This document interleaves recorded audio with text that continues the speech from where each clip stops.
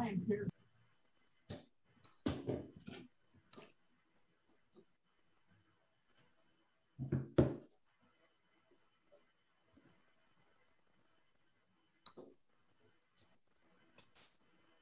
Righty. Well, we've hit nine o'clock. That is the witching hour for talking about Diamondback terrapins. Uh, welcome to those of you who have made it so far. My name is Randy Chambers. I am affiliated somehow with the Mid Atlantic Diamondback Terrapin Working Group. I have some title like representative or something like that. I'm not exactly sure. I'm uh, the director of the Keck Environmental Field Lab here at William and Mary. And our co-host this afternoon is Jonathan Wnek. And Jonathan, I'll let you introduce yourself. Sure. I'm, I'm John Wnek. I'm um, with the Marine Academy of Technology and Environmental Science, and we conducted an initiative here called Project Terrapin. And um, I'm one of those titles, I guess, like alternate or something like that. But um, just a terrapin researcher, enthusiast, and conservationist, and look forward to uh, meeting with everybody in our region. Excellent. Um, we met actually here at the Mid Atlantic Diamondback Terrapin Working Group, met here at William and Mary back in 2014 uh, on a very rainy couple of days that we had then. Our most recent Mid Atlantic Terrapin meeting was in 2018 uh, in, in John Wnek's backyard uh, in New Jersey. And the most recent national meeting was in uh, 2019, and that was pre pandemic. And the next national meeting will be in Athens, Georgia, um, sometime next fall. But today we're here virtually, remotely, uh, but still working no less devotedly um, on the research and education and the conservation and management of diamondback terrapins in the mid Atlantic region. We're geographically constrained uh, as the coastal states of New Jersey, Maryland, Delaware, and Virginia but we routinely have and do have today contributors from Pennsylvania, Ohio, New York, and the Carolinas. In addition, we have attendees today from other regional Diamondback Terrapin working groups. And so, on behalf of John, my co host, uh, we welcome you all. Uh, we've compiled a list of registered people and their emails and plan to distribute that list to everyone. If you do not want to share your email uh, um, contact, then put a note in the chat um, and uh, to me or directly to my email, and we'll make sure that you don't end up um, on that list. Um, also note that uh, we are recording today's meeting, so we'll have a copy of the presentations uh, for later viewing. And we have six talks today, no posters. We didn't want to go through the technological issues associated with trying to present posters. The plan is to have speakers uh, present uh, and share their screens and present their talks.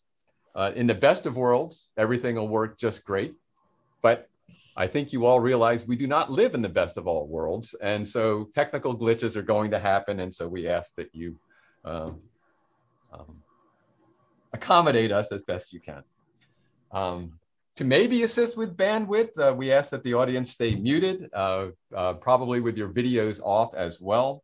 If you have any technical questions, my research assistant, Madeline Ringsel, will be monitoring and responding to the questions box and the chat if any uh, concerns arise. Talks and uh, the questions following the talks are scheduled for 15 minutes each. But since the session is plenary, we can be a little loose with that, with that timing. Nevertheless, we know you all have schedules to uh, uh be accommodated. And so we'll try to keep as close to uh, that schedule as we can. Following all the talks, after those six talks, we'll take a short uh, five to 10 minute break for snacks and restrooms, and uh, then return for an open discussion of the talks and topics that are relevant to the Mid Atlantic region and perhaps even nationally. Okay, we've given uh, time for people to connect, and it looks like we have upwards of 35 folks so far in attendance, which is which is really great for uh, one of these Mid Atlantic meetings. So I think without further ado, uh, Sean, I think we're ready for you for the uh, first presentation. Uh, Sean Sterrett from uh, Monmouth University and his co-authors Rebecca Berzins and Rachel Katz are going to be talking about a title evaluating the detection of diamondback terrapin from an unmanned aerial system using 3D printed models. Take it away, Sean. Thank you. Can you hear me all right? We can indeed. All right, let me get this shared maybe. Thought I had it. okay. Um, all right. Um, thank you all very much for being here, for having me. Thanks for putting this together. It's good to have uh, all the Terrapin people together.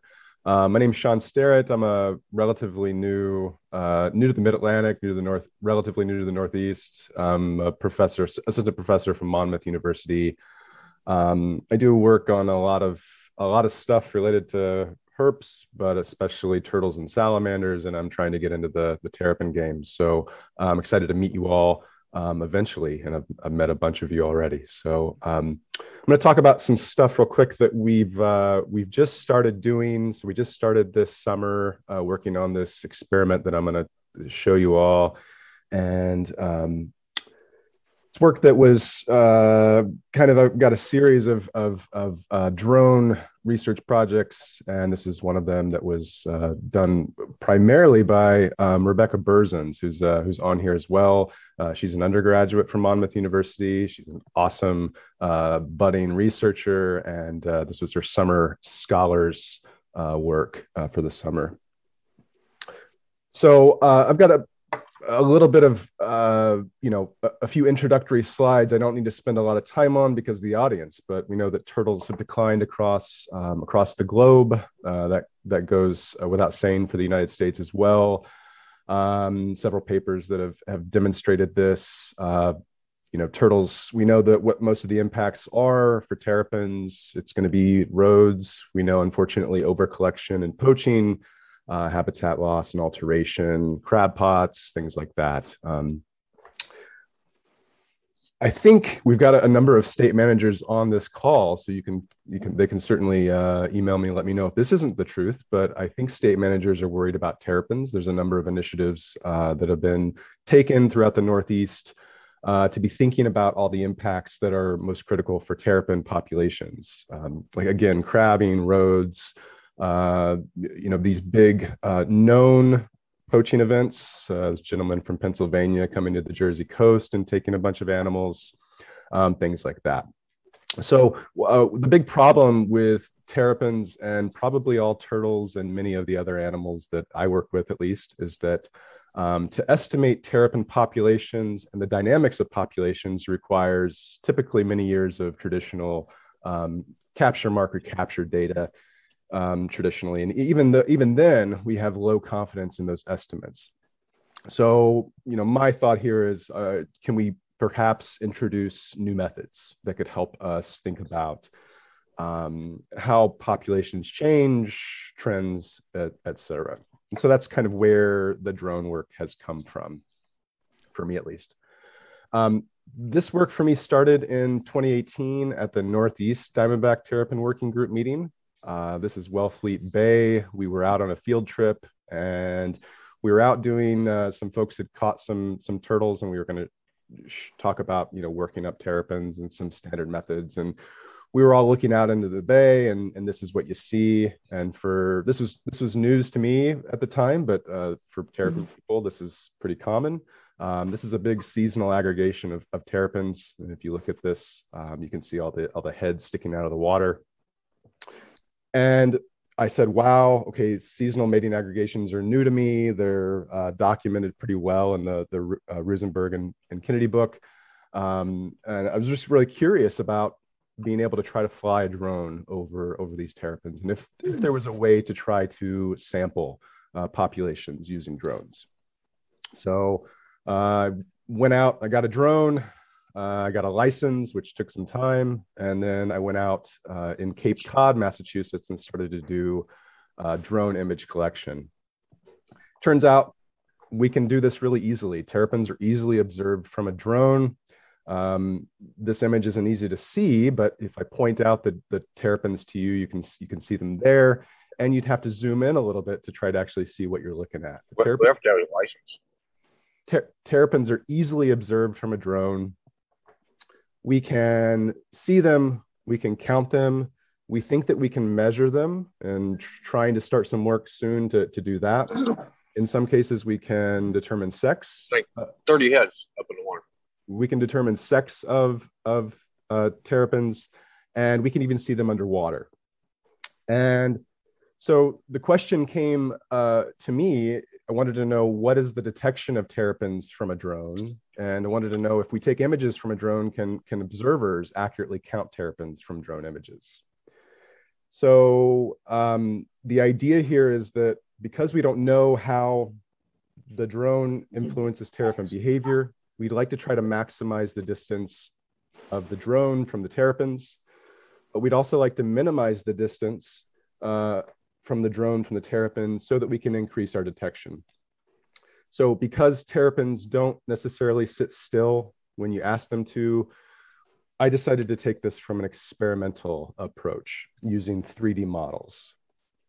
So I'm going to tell you a little bit about that, that process.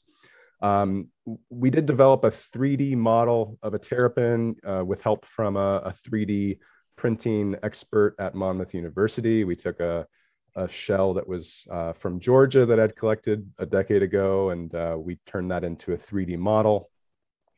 We printed those models. This is uh, the prototype here uh, of what this looks like.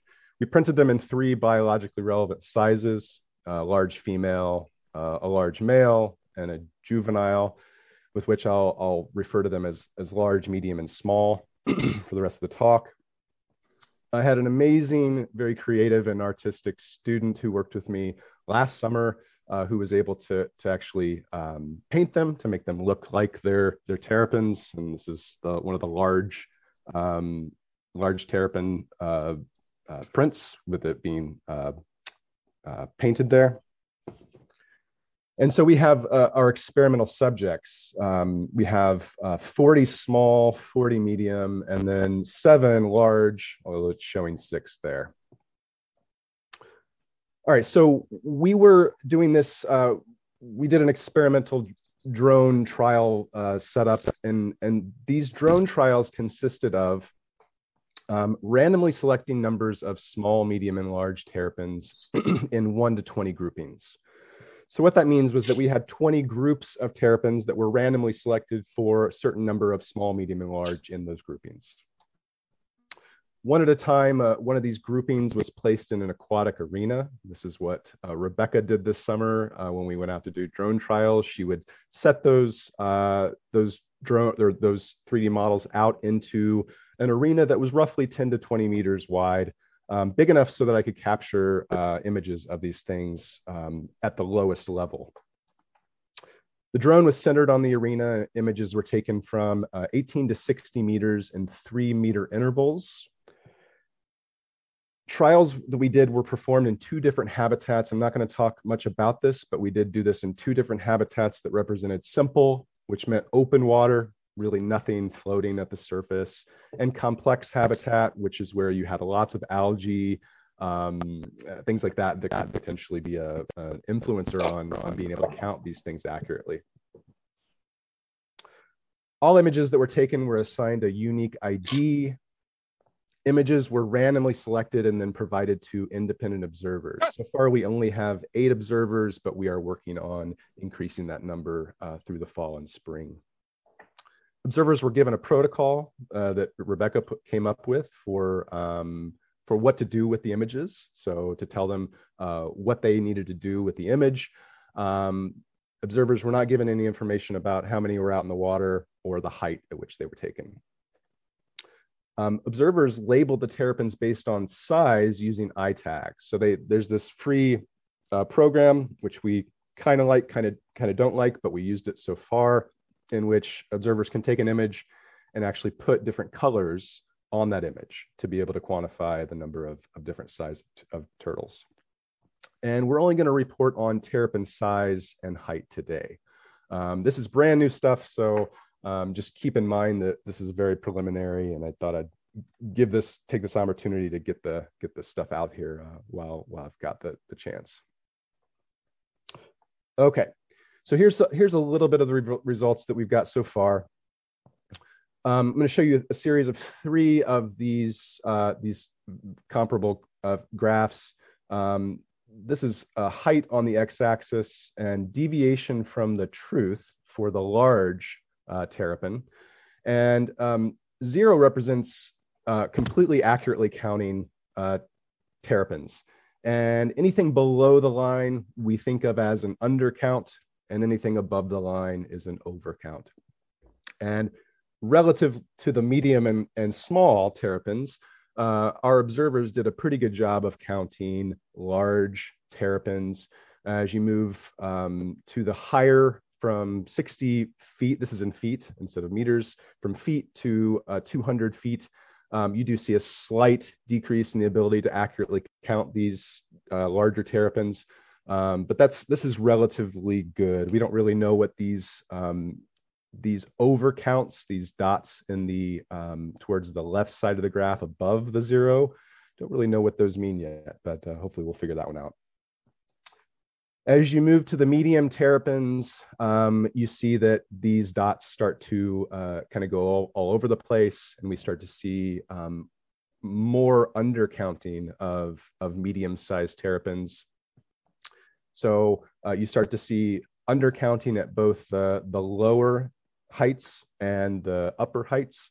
Uh, we think this probably has to do with a number of things. One, it's harder to count terrapins accurately at higher um, at, at, higher uh, drone image heights, uh, but also it might be possible that they're they're seeing things, they're counting things that aren't there, or they're they're simply challenged uh, to count um, terrapins. Um, as we move to the small size, you start to see these dots kind of go all over the place.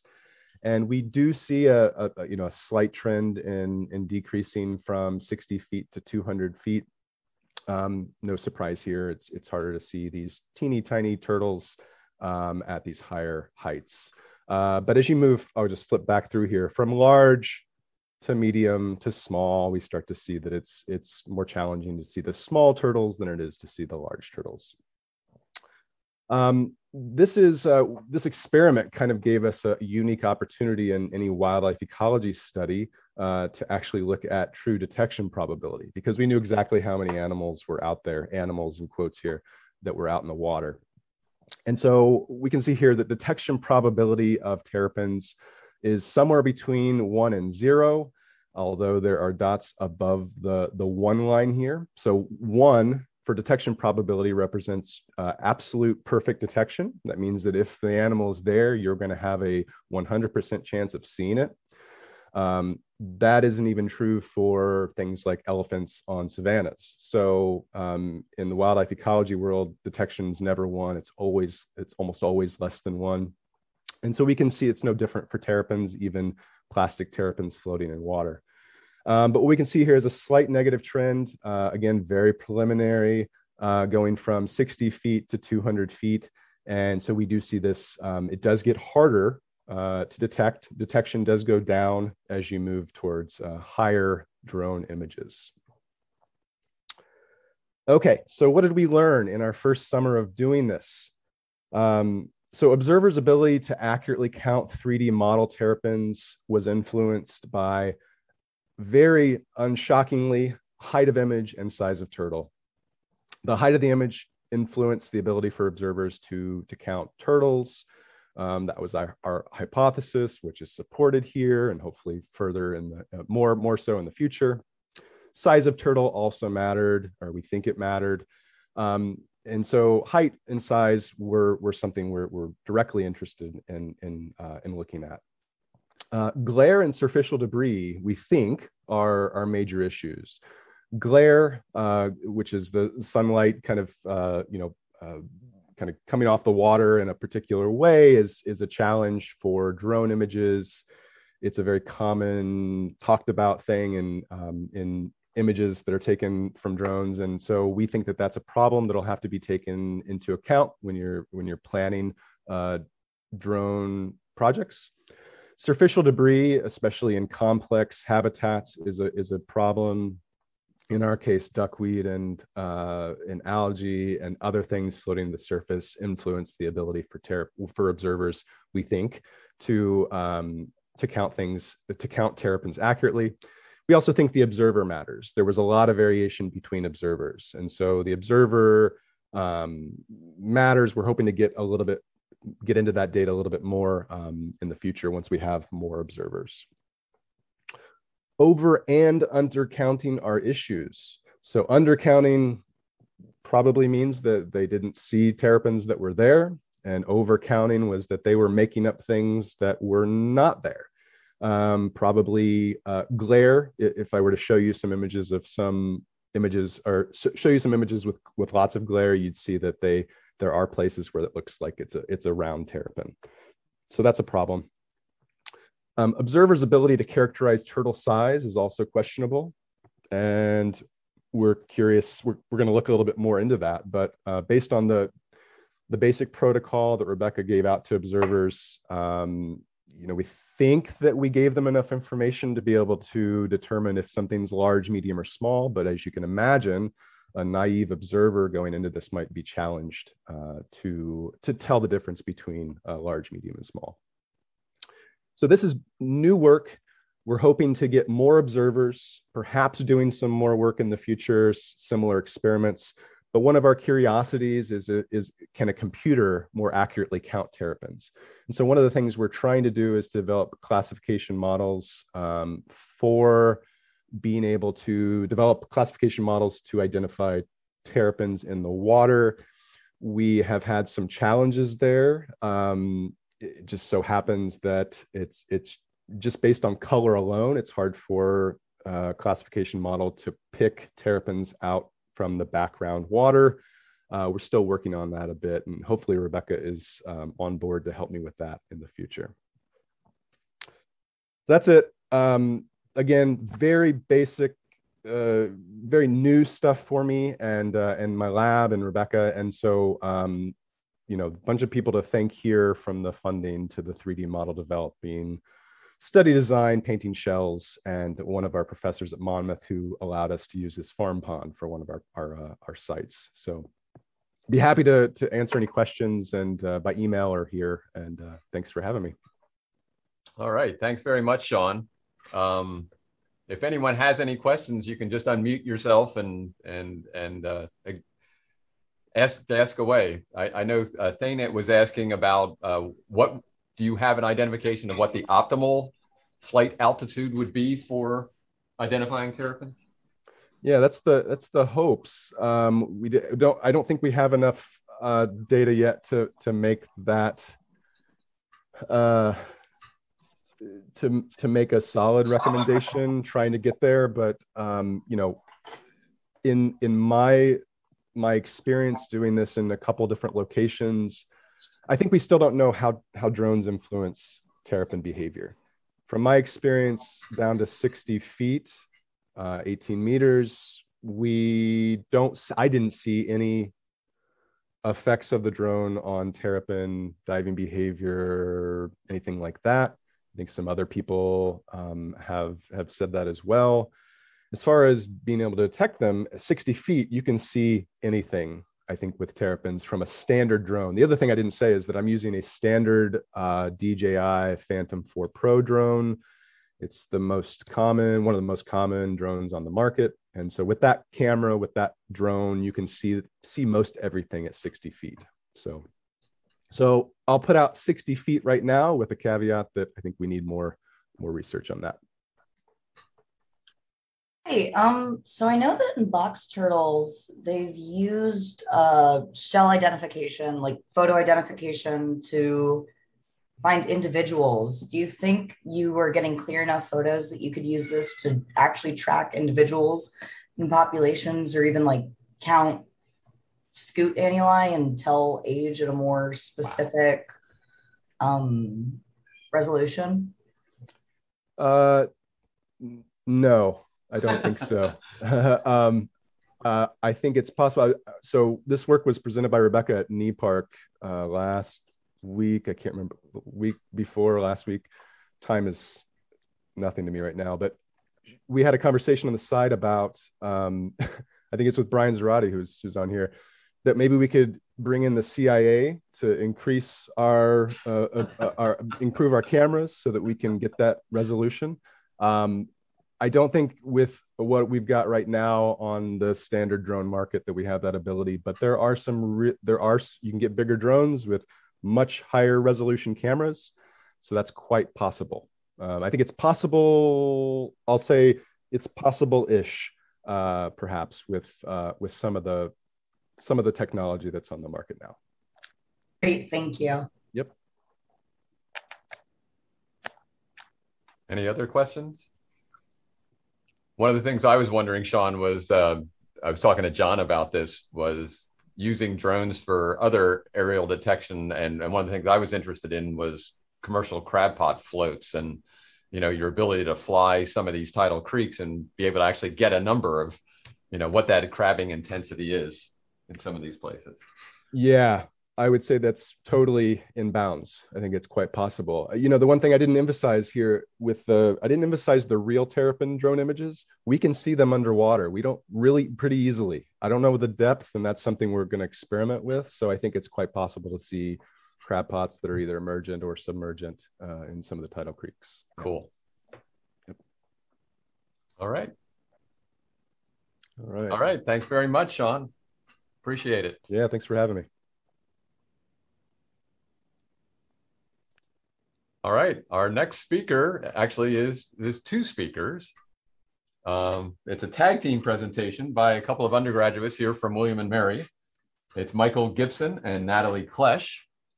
And the title of their talk is A Novel Bycatch Reduction Device to Promote Terrapin Conservation in the Blue Crab Fishery. So take it away. I guess Michael's first. Is that right? Share your screen, Michael.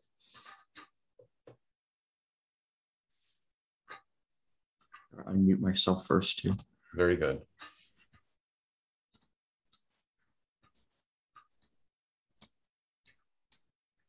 All right, so as Professor Chambers said, our presentation is called a novel bycatch reduction device promoting terrapin conservation in the in the blue crab fishery.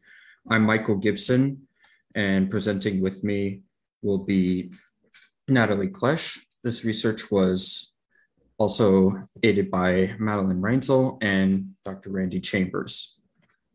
And we are working here at the at the Keck lab at the, I guess they wanted to call it a university now, but the College of William and Mary. And um, the purpose of this research was to as the title says, develop a, a new kind of bycatch reduction device, um, which has an oval design against currently used rectangular models.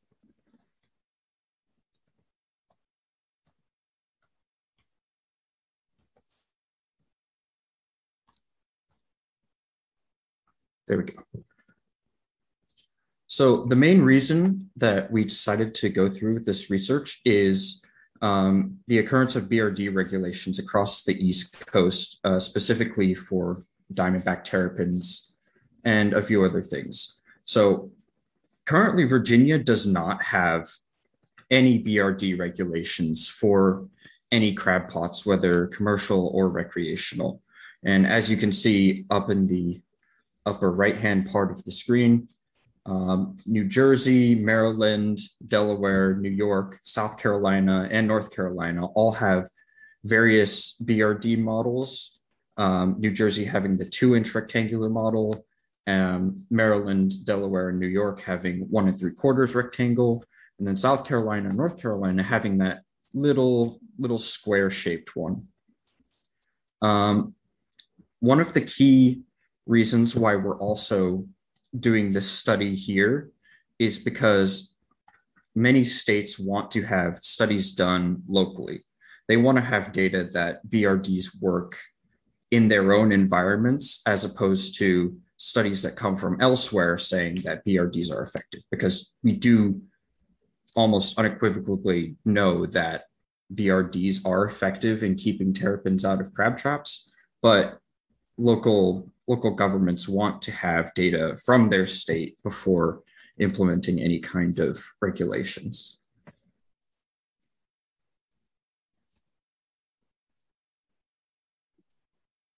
Hello, as Michael already introduced me, I'm Natalie. Um, and now I'm going to be um, going over essentially um, the basic experimental design of um, our research. So we had two field sites, Felgates Creek and Indian Field Creek, um, which are tidal inlets off of the York River, located on the Yorktown Naval Weapons Station. Um, in our experiment, we had five different treatment groups. Obviously, we had our experimental oval models. We had a two inch oval model, a one and three quarter inch oval model, um, which we then tested against the two inch rectangular model and the one and three quarter inch rectangular model. And then, of course, we also had our control pots, which we used as a point of comparison. Um, we had a total of 40 traps. We had 20 traps at each site. Um, and each site, we set up our traps in um, lines of five. Um, one um, pot from each treatment group were, was placed within the line, and these pots were placed um, essentially randomly in accordance to order within the line itself. and we baited our crab pots every other day. And so each day we'd head out in our canoes and we would check our traps for terrapins and blue crabs, we would measure our terrapins for their shell length, the width, and the height. And our blue crabs were measured um, for carapace width.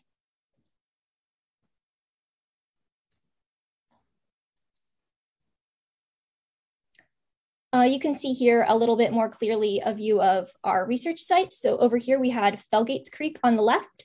Um, you can sort of see um, these little red dots are the relative placement of our crab pots. And over on the right, you can see Indian Field Creek. Um, these pots were sort of arranged in lines as well.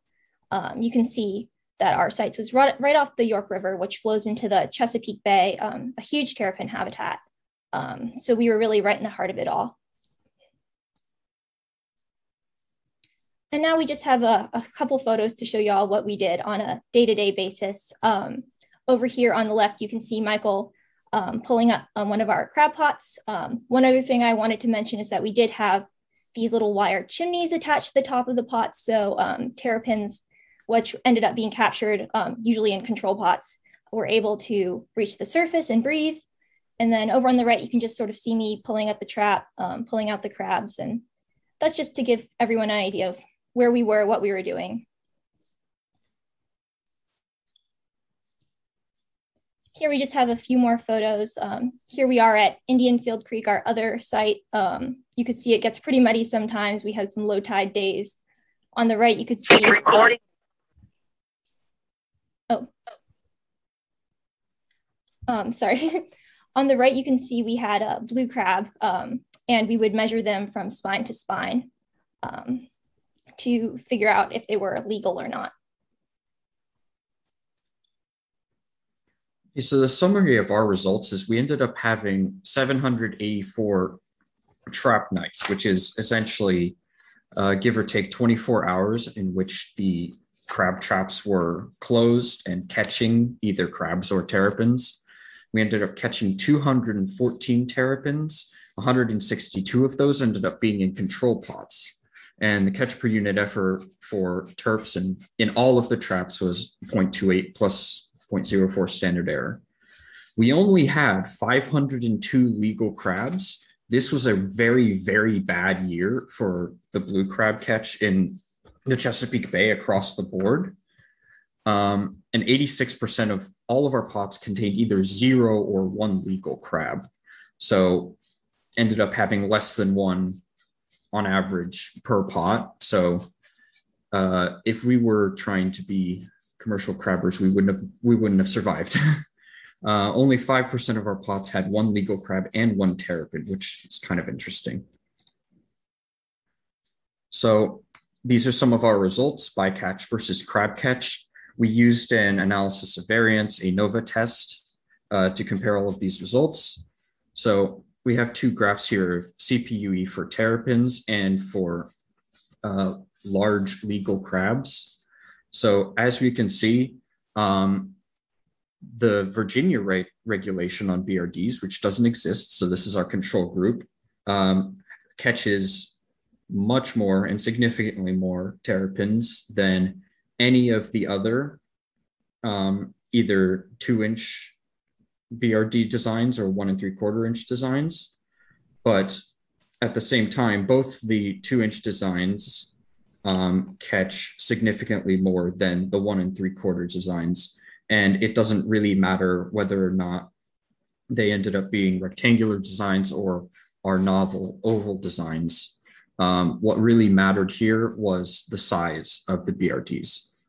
Um, and at the same time, what is most important to you know commercial crabbers and recreational crabbers, and even more importantly, legislators who might implement a BRD regulation in our state, is that there wasn't really a significant decrease in crab catch um, due to implementation of BRDs.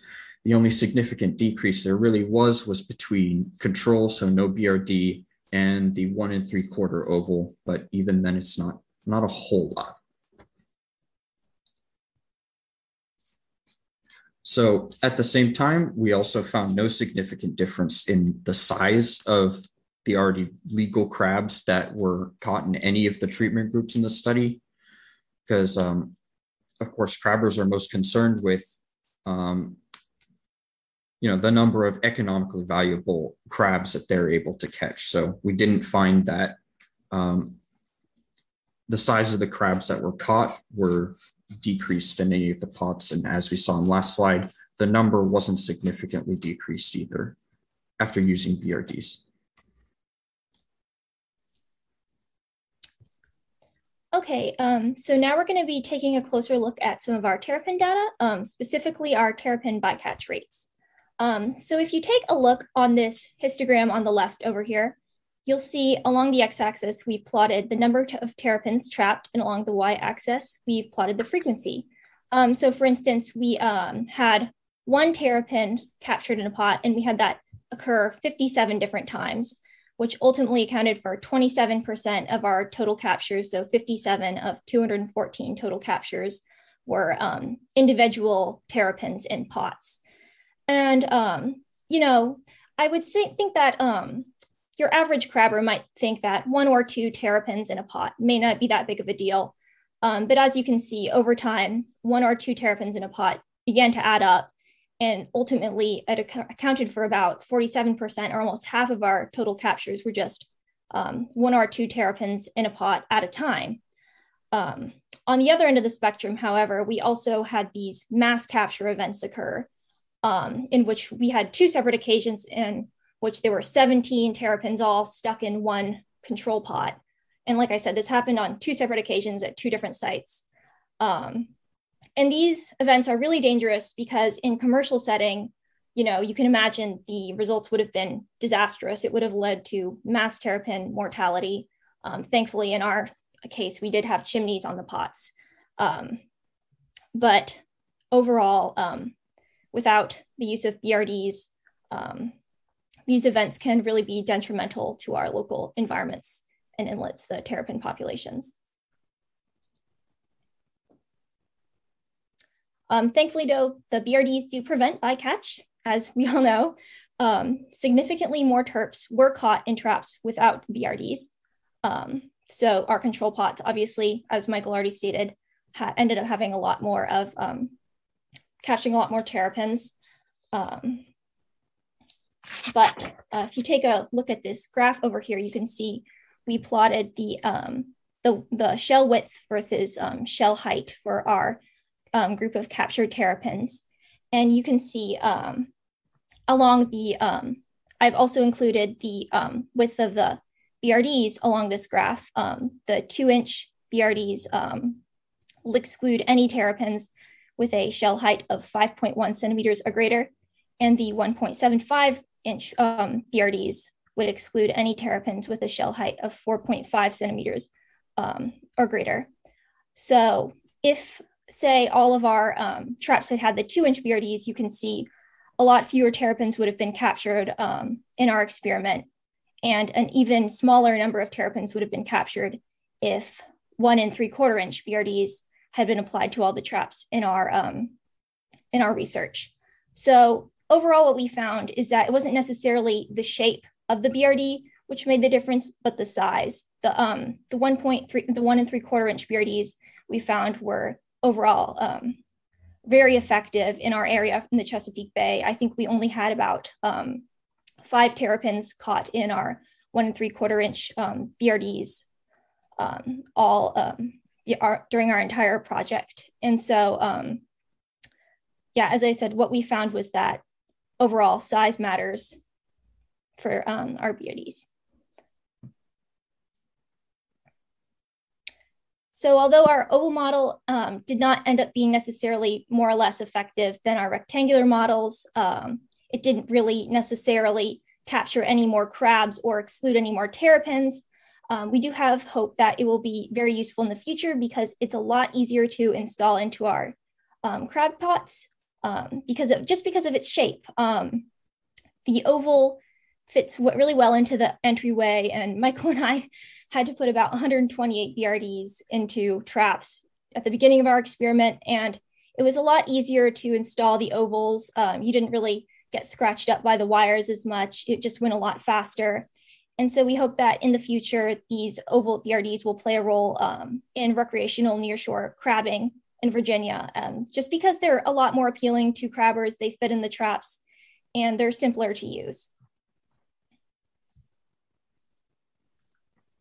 Uh, that's all we really had to say. Um, thank you so much for joining us today. This was a really great opportunity for Michael and I, um, really our first chance to get some biology fieldwork experience, and we had a lot of fun. Thank you a lot.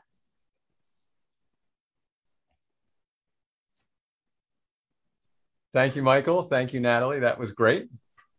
Uh, do we have any questions from uh, Sean has a question already. Oh, sorry, no question. I'm just clapping. Oh, you're clapping. Yeah. Right. wasn't yeah, raising his hand. He's clapping. Yeah, no, that was uh, that was a fun presentation. Thanks. There you go. Yeah. This is Thane Wibbels. I have a question from University of Alabama at Birmingham. Uh, what do you have any speculation as to why you got those mass capture events periodically? Um, yes, we do think that it happened because, well, both of the events did happen towards the beginning of our experiment. So the terrapins, you know, they're very curious. Um, they were kind of exploring the new traps in their environments. Um, and so I think, you know, they, they see one of their um, comrades go into the trap and then they all end up following along behind. And, um, you know, over time, the terrapins, they do generally learn, um, oh, I shouldn't go into there. I'm going to get, end up getting stuck in there. Um, but unfortunately, in a commercial setting, that wouldn't have been the case because the terrapins would have likely drowned and they wouldn't have had that second chance to figure out, oh, I shouldn't go in these traps. Um, so, yeah, we essentially think it happened because they were curious and terrapins will sort of follow the leader in that aspect. To add on to that a little bit, um, this wasn't a population study. We probably still, still did end up capturing the same terrapins multiple times over in this experiment.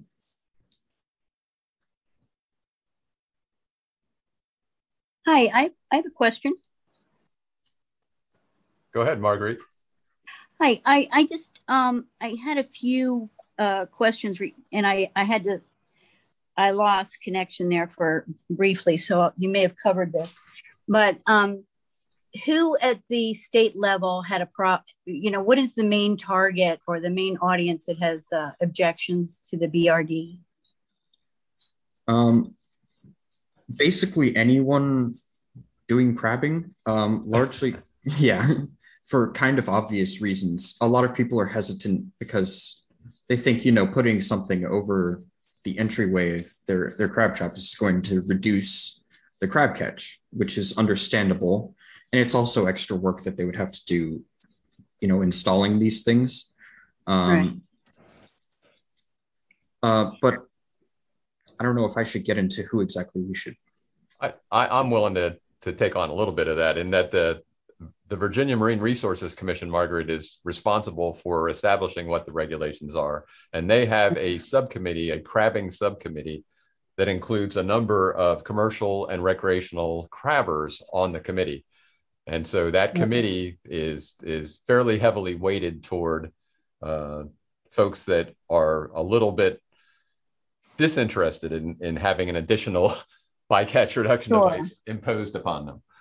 Let me throw out because we had the same encounter. Uh, I worked with uh, Maryland Fisheries when right. we had the BRD requirement there uh, in 1999. And I consulted with a lot of watermen. And of course, for the most part in Maryland, the, the commercial watermen are not going to be affected because they can't put their pots in shallow water right anyway. So our uh, requirement was directed towards um, waterfront property owners who are allowed to set two pots. And a lot of times these are in tributaries that are just, you know, uh, flushed with terrapins. But um, anyway, one of we had a waterman testify at our hearing in that his belief was when you restrict the funnel, you actually help retain the number of crabs because crabs will come, and I think this has been borne out in, in other research, but crabs will come and go in a pot. And you're using the pot with the two chambers, is that correct? Yes. Okay, so they will. You need to get them up in the up, upper church in order to retain them. Unless they go up there, they're going to float in and out uh, of the funnels. That that was what this waterman uh, testified to, and that when you control the shape and you restrict the entrance, it actually improves your crab catch overall. That was his message. Um, and that leads me to my the other question in that he also believed that if you have a terrapin in the pot, crabs won't go in there. So unless you're checking it, I don't know if that was borne out in your research. Um, for example, if you in in your control pots where you had a terrapin or several, what was the ratio of crabs that entered that pot? Well, on one of on, on one of our slides before, we did say that only five percent of the pots had at least one terrapin and at least one um, legal size crab, anyways. Um, Uh-huh. I'm not sure what the data said in terms of like how many crabs would end up being in control plots with their when there's a bunch of terrapins in there as well. Yeah, that was one of the things we mentioned as a benefit to the BRD. I don't have any data on that, right but um, crabs will be repelled or whatever. Uh, the other, the other thing that made sense to me is that a crab, when it's hungry, is very determined, so they'll get in the pot. That's not that's not a worry. And um, when they're getting out, you know, they're not as determined. Maybe. Hmm. Um, we also have a cull ring at the top chamber sure I, I don't know if you require that as well. I don't, we do. I don't really, I don't know how much that it, it may help with hatchlings escape to Right. escape, but um, Margaret, Okay. we're gonna Margaret, we're gonna uh, try to stay a little bit on schedule, and these are great questions for discussion at the end. Uh-huh. Uh, so, so we'll probably end up talking about this a little bit more after the presentations. okay, good. Thank you, Michael. Could you unshare your screen? Yep. All right. Uh, our next speaker uh, is Brian Williamson from uh, the Wetlands Institute in Stone Harbor. And his co-authors are Zachary Holmes and Lisa Ferguson. And Brian's going to talk about understanding spatial and temporal trends in diamondback terrapin mortality on Cape May County roadways. Hi, Brian, and take it away. Hi, let me get my screen shared here.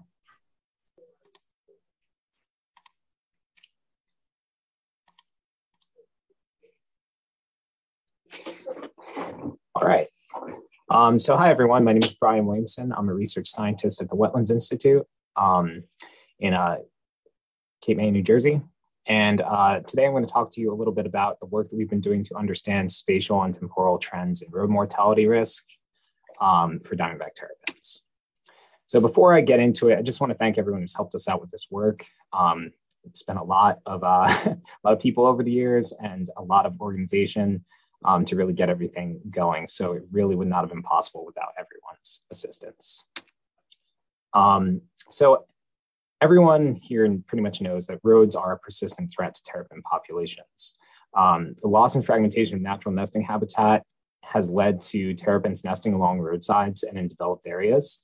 Um, sorry, moving that screen out of the way. Um, and causeways in New Jersey are one of the main areas where we see this problem. Um, we have these roads that basically bisect the salt marsh. They connect the barrier islands to the mainland, and they are surrounded by upland habitat that's very accessible for terrapins and serves as tempting nesting habitat in areas where there really is very little nesting habitat otherwise. Um, unfortunately, they're also very seasonally high traffic roads. Uh, so we end up losing quite a bit of terrapins on these roadways. And since 1989, the Wetlands Institute has been working to understand and mitigate this issue. We found that an average of 500 terrapins are lost annually on a 38 mile transect, basically from uh, where we are um, up to Ocean City, New Jersey. So consistent mortality of this level might pose a risk to this long-lived species. And it's important as a result of that to understand the periods and locations of high crossing activity so we can improve our conservation efforts focused on diamondback terrapins. So to that end, uh, we worked to uh, do some focused surveys of a smaller section of a road patrol transect. Uh, we chose a 4.9 kilometer causeway, which is, as I mentioned, a portion of our larger transect. It's bordered on both sides by a thin band of upland habitat and surrounded on all sides by salt marsh. There are several developed areas along the roadway, as well as some mitigation fencing that was installed to reduce terrapin crossings um, in areas of high crossing activity. Uh, there's also bulkheading that's present, um, mainly on the south side of the roadway, um, which likely influences uh, terrapin crossing activity as well. To survey this road, we drove it five times per day during the nesting season from May through July 2017 uh, through 2020. And every time we encountered a terrapin, either dead or alive, um, or injured, we recorded its GPS location and its status and assisted it across in the direction that it was headed if alive. Um, for every encounter, we recorded the cloud cover based on field conditions at the time, uh, the date and the time as well. And for any dead terrapins we found, we recorded the carcass condition, um, which we used to kind of get a sense of how long the carcass had been on the roadway. Uh, carcasses that were dry and flat, um, those tended to be ones that we um, assumed had been on the road for quite some time. We also recorded prior day precipitation from local weather stations, and any injured and or dead terrapins were merged as casualties for the sake of analysis. So when I share these summary stats in a second, you'll see that we just have live and casualty. Um, over the course of 1,254 surveys that we conducted over the four years, we encountered 1,065 terrapins, um, 315 live terrapins, and 750 uh, casualties, so either injured or dead terrapins. So um, definitely no small number. To analyze the uh, spatial characteristics of this crossing activity, we used a program called Siriema, um, which is used to um, study uh, wildlife road mortality and road crossing activity. Uh, it's basically specially designed for that purpose. Um, before we could actually run the analysis, we needed to remove any outliers. Um, so we went through, looked at our data, and found that there were 23 points that basically we just had GPS error greater than 30 meters. So we took those out before we went ahead. And then we used um, the Ripley's K statistic tool in Siriema to assess whether there was significant clustering or dispersion of crossing activities or mortality uh, or casualties, I should say, um, along the road and at what scales that occurred. So this works by summing the number of events. Uh, so in this case, it would be crossings or casualties within a 30 meter radius. And we could set that radius to whatever we wanted. Uh, we chose 30 based on the scale of our roadway. And then multiplied by a correction factor to account for the road length. This is then repeated again and again at larger scales until the radius equals uh, the length of the road um, to get a sense of you know, the existence of clustering or dispersion at multiple scales. Once we determined whether or not there was clustering or dispersion, which surprised there was significant clustering or dispersion, uh, we used 2D hotspot analysis in Siriema to identify where that occurred. So we divided the road into 150 segments um, and then passed a 30 meter radius circle over each event, summing all the events in the circle to uh, better understand where these uh, clustering and dispersion events occurred. Um, so we did this for both total crossings and casualties. But for the sake of time, I'm just going to be going over the results for crossings because we had a much larger sample size um, and the trends between the two um, that we saw were basically the same. So these are the results of our um, hotspot analysis. Um, you can see anything in warm colors uh, is a hotspot, um, with yellow being lower intensity and red being the higher intensity. And the highest intensity hotspots tend to occur towards the eastern end of the roadway, near an area where we have um, very uh, high use terrapin nesting habitat. Um, also, there's a gap in the fence in this area as well. You can see in the area where there are those red hotspots, uh, those high intensity hotspots, there's actually a gap in that fence. So uh, it's possible the terrapins are being funneled into that area as they cross uh, to seek nesting habitat. Unfortunately, the gap must exist due to intersections in that area, so we really don't have much we can do about that. Um, you can also see that around areas in the gaps of fencing, we did tend to have these uh, hotspots. So it's possible that that's um, part of the, the problem is that terrapins are entering the road and becoming trapped in the fence section. We have cold spots as well that occurred within these uh, fenced areas, but um, it, you know, so it is possible the fence is making a difference. Um, this is an area where we already had a lot of nesting activity, so this could be worse without the fence. Uh, it is kind of hard to say. But if you look towards the western end of the road, we have uh, several cold spots, and those tend to be in areas where there's bulkheading. So to get a sense of when um, these uh, you know, crossing events are most likely to occur, uh, we did some temporal and environmental analysis to see what factors influence crossings. Um, we had reliable time data for 549 of our terrapin encounters. We removed all dry carcasses from analysis. And we divided our patrol window into five two hour time classes within the 0800 to 1800 hour survey window. Uh, we scaled the total number of encounters uh, by the number of survey passes during each time class just to account for effort. There were some times where you know we may have needed to drive the road multiple times, and so we had to take that into account. You can see our time classes here on the right. So to analyze this data, we used a generalized linear model uh, with the Poisson distribution and log link function in JMP uh, with a combination of fixed effects and uh, two-way interactions of those fixed effects and a backward selection approach to reach our final model. Our final model suggested that tide stage was the only significant main effect that influenced terrapin crossing activity. So during high and falling tides, terrapins were significantly more likely to be encountered. Um, this really shouldn't be too surprising. Um, but it does suggest, you know, it does give us uh, concrete evidence that those times are when crossing activity is most likely. We found that cloud cover and time uh, affected um, terrapin activity and actually interacted to affect terrapin activity. Um, in general, there was a significant increase in the likelihood of crossing activity in the late morning by 55% and in early afternoon by 44%. Uh, in general, is 23% less likely during the mid afternoon and cloudy conditions overall uh, reduced crossing activity by 26%, so over all time classes. Um, whereas partly cloudy conditions comparatively increased the early and mid-afternoon activity. Um, however, on clear days, uh, we had you know our highest activity in the late morning. So it seems like the presence of cloudy weather um, kind of basically uh, pushes back terrapin activity during the day, um, possibly due to changes in temperature, which we'll talk a little about. So some conclusions from this. Um, high falling tides in the early afternoon during partly cloudy weather um, lead to the highest crossing probability.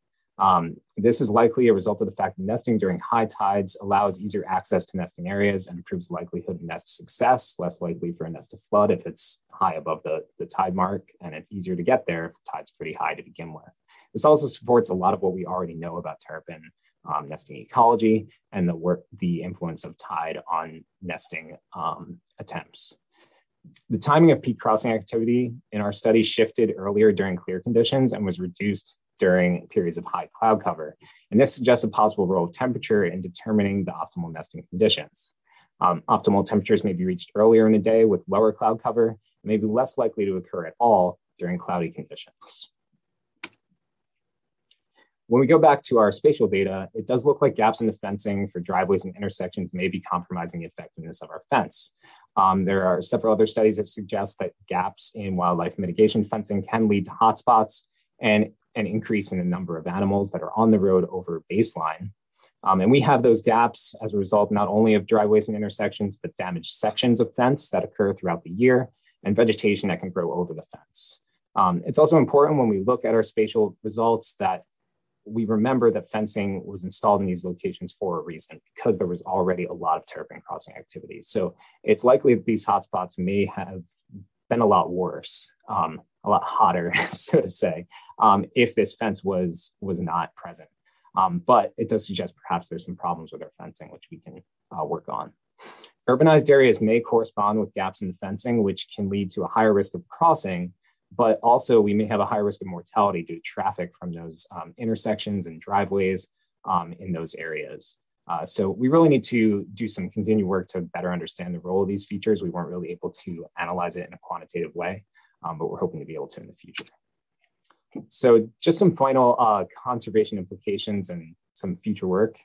Um, fencing in general, our results suggest cannot solve the issue of mortality if it is not continuous.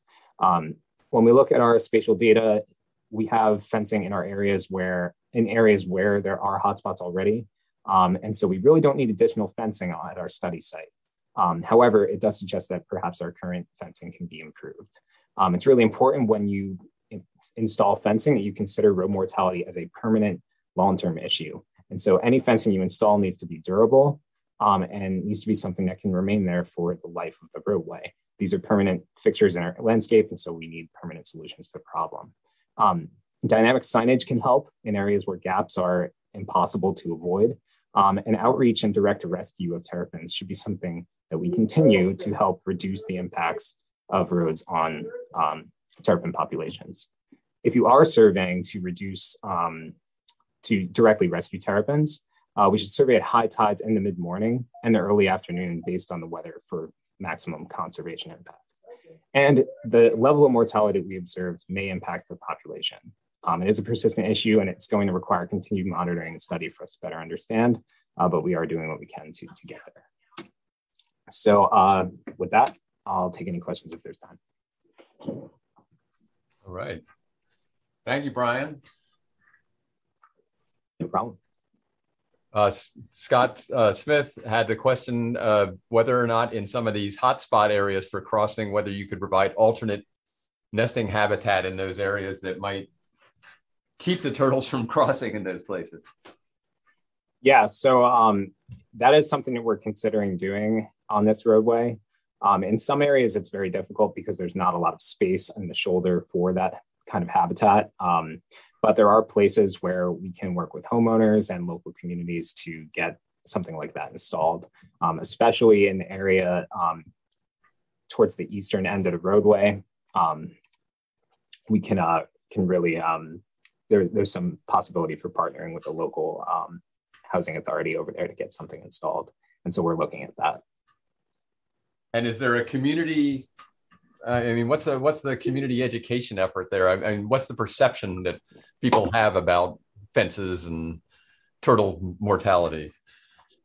So luckily, um, you know, with this project um, and its history, there's been a lot of outreach and a lot of um, you know uh, effort to gain the public support. Um, Roger Wood, who started this project, really kind of laid the groundwork for um, some long-term, um, you know, public engagement. And uh, so there's actually a lot of people that live on this roadway that are very aware of the issue and put signs on their property. Um, we have a family that actually installed some nesting habitat on their property already, and we're working with others to do the same. So it's um, I, I think there's some real potential for that in this area, especially um, because of the history of our research and conservation program here at the wetlands. Yeah, it's a hotspot for turtles, and I think it, that because of you guys, it's a hotspot for education too.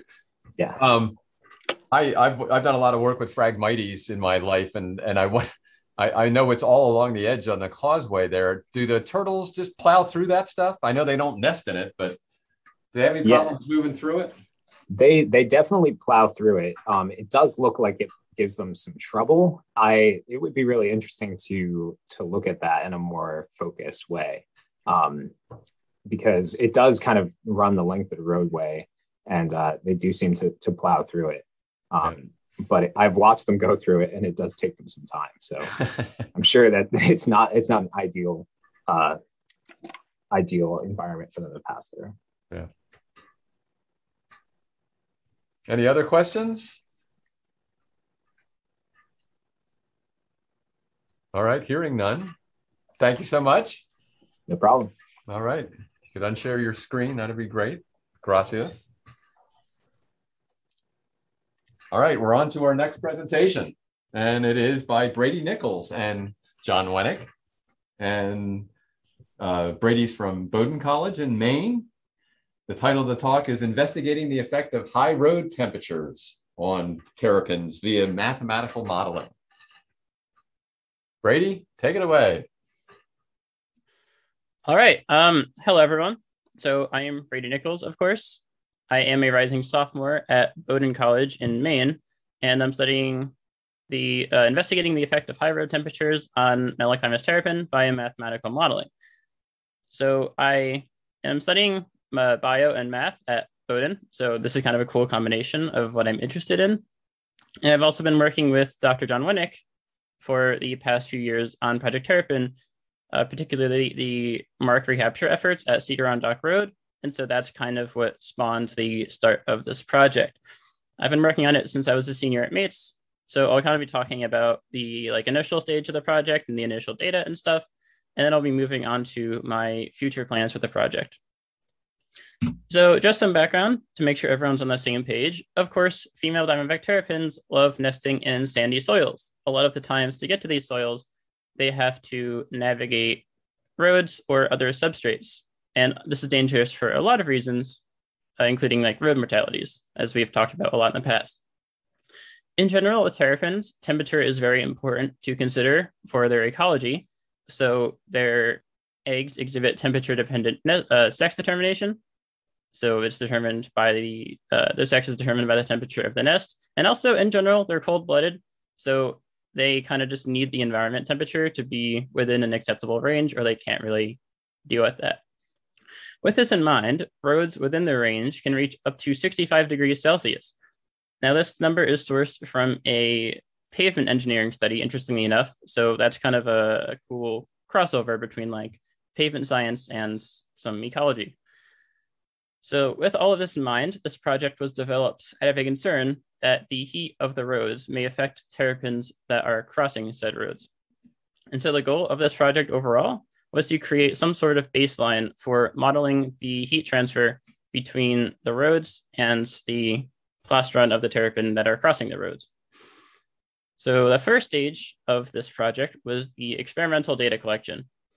So to do this, we acquired a medium-sized female terrapin shell and placed it directly on a hot plate with a thermocouple measuring the temperature of like the top of the plastron. The heat hot plate was then set to one of two temperatures, 45 degrees Celsius or 70 degrees Celsius. These temperatures were picked to kind of give a good range of like where we could kind of expect the model to work as kind of like a lower bound and maybe an upper bound. They then gathered data at five second intervals as the terrapin shell heated up, and the end result of this part was a curve of the internal temperature over time as the shell heated up. Then, to make the stuff more uh, as accurate as possible, we wanted to kind of incorporate the walking style of a terrapin. So, as you can see, and as you've probably seen in the past, when a terrapin walks, its entire body is not always dragging on the ground. So for example, in the top right, you can see that the front part of this terrapin is lifted off the ground. And when it's doing that, it's obviously not receiving conduction from the ground, but rather radiation.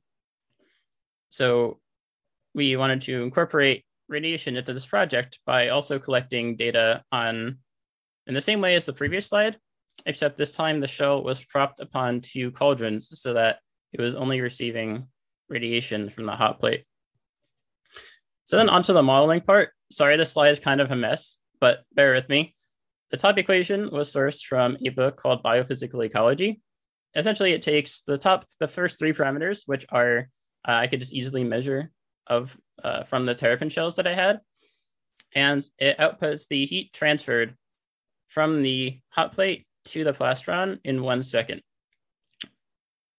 And then two other parameters we needed was thermal conductivity and specific heat capacity of the terrapin shell, which were sourced from uh, various other studies on alpha keratin from textiles and bovids So anyway, top equation outputs the heat transferred from the hot plate to the plastron after one second. And then the bottom equation converts that heat to a change in temperature. And then this change in temperature can be added to the temperature of the terrapin shell on the first equation. And then that's the temperature change after one second. And then that can just be run over and over again to get a very similar curve to the experimental data collection. Now, how similar was this? Well, it worked pretty well. So if I get my pointer out, the red line here is the theoretical data produced by the equations. And then the blue line is the raw experimental data, and the green is a best fit of the experimental data. So you can see when compared, it worked pretty well. And there's a few reasons that are illustrated here as to why you need a model in the first place rather than just using the raw data. So as you can see, the line of best fit, the green line, is a second degree polynomial. So it actually curves downwards, which is not how um, heat transfer works, obviously. So the model actually like, you know, takes into consideration like, oh, this is heat transfer, so it should level off. And you can see like the blue raw data follows the red line more than the green line.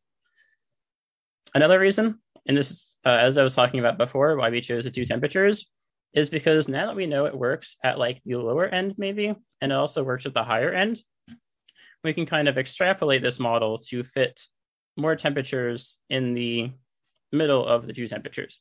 And you'll see that in a bit later. So now comparing the radiation uh, experimental versus theoretical, it also works pretty well. Again, it's not perfect, but thinking about this study as just like a baseline, it works well enough to continue. Radiation was simulated in a bit of a weird way, I think. Instead of, uh, well, essentially, we took the temperature of the surface and found what the air temperature should be right below the plastron, and then um, and then did the conduction equation with that air temperature. So probably not the best way to do things, but it works again because this is more of a baseline study. So putting this all together, we can kind of make like a final simulation of sorts. So here, so for this diagram, you can imagine you're holding a terrapin and its plastron is facing you and the terrapin is like the head is facing upwards. So this bottom is the bottom of the plastron. And if you were thinking back to when we saw the terrapin walking, this part is going to be the part that's more heavily affected by conduction, whereas the front part is going to be more heavily affected by radiation throughout the entire cycle of the terrapin walking. So I treated this by making the bottom or the back always use conduction, the middle alternate between conduction and radiation, and the top doing all radiation.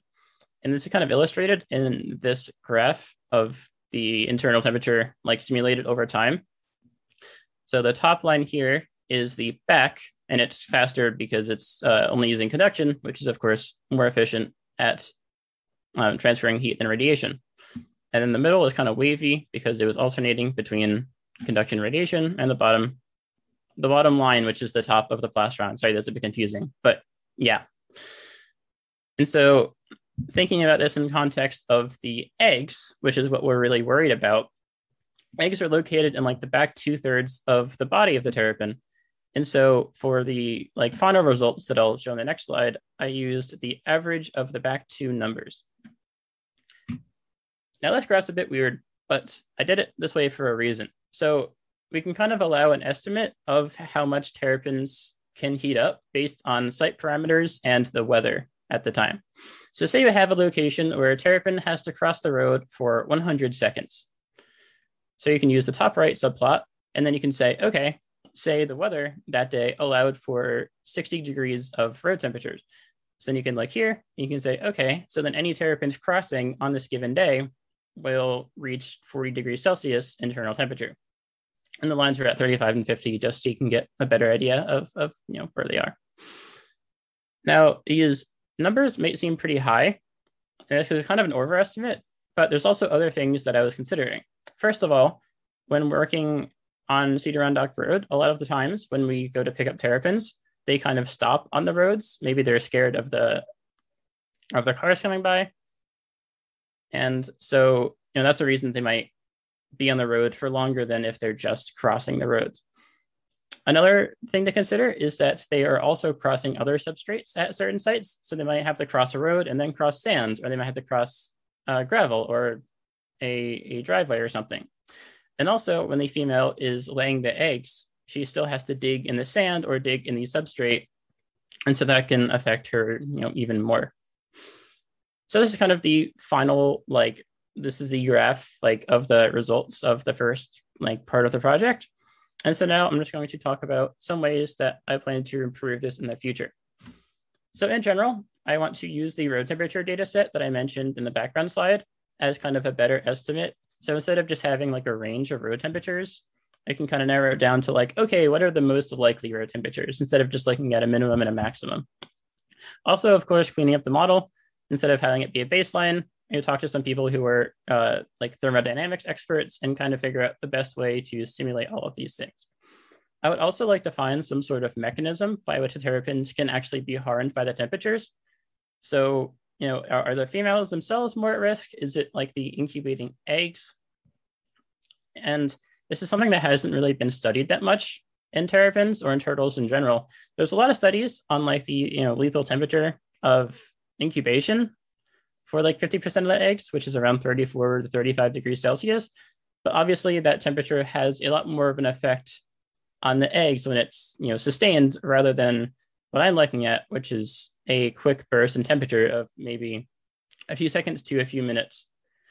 Lastly, I'd like to collaborate with other researchers with like hatchling and nesting data sets and try to create a correlation between maybe nesting success, nesting success and the temperature and find the direct effects of the road temperatures on terrapin hatchlings. So I would like to thank Dr. John Wnek, of course, for being my mentor over the past few years and getting me involved in Project Terrapin, the reason I'm here today, and for being my advisor throughout this project. I'd also like to thank Michelle Budd for providing the Terrapin shell that I used for this project and for being someone to bounce ideas off of throughout the length of the project. And I'd like to thank Mates for providing all of the lab and all of the equipment. So thanks. And I can take questions now. All right. Thank you very much, Brady. Uh, interesting to have the intersection of pavement science and terrapin eggs. That, uh, that, that's pretty good. I, that probably hasn't been done before. Um, yeah, for sure. Yeah. So uh, Scott Smith in the chat asked the question, uh, could you use iButton temperature sensors uh, during the nesting season to actually get the real temperatures that are out on the roads? Yes, that would be really, really awesome to get. Um, but yeah, that's part of the another part of the thing, like the you know collaborating collaborating with other researchers, because you also have to think about like every site is very, very different. So you know, there's some sites where they just have to cross a road, some sites where they have to cross a road and then go over like a whole beach, like the washover site and LBI. And yeah, so getting more accurate road temperatures like that is, you know, would be a really, really, really great way to, you know, make this project more true to the real world. Mm-hmm. Then I was thinking of the previous talk that Brian gave about, you know, the times that turtles are crossing the road and the intersection of tide and time for for when they're actually potentially could be exposed to some of the hottest temperatures on roads depending on you know when they're when they're out there and how much sun is out there in a particular time.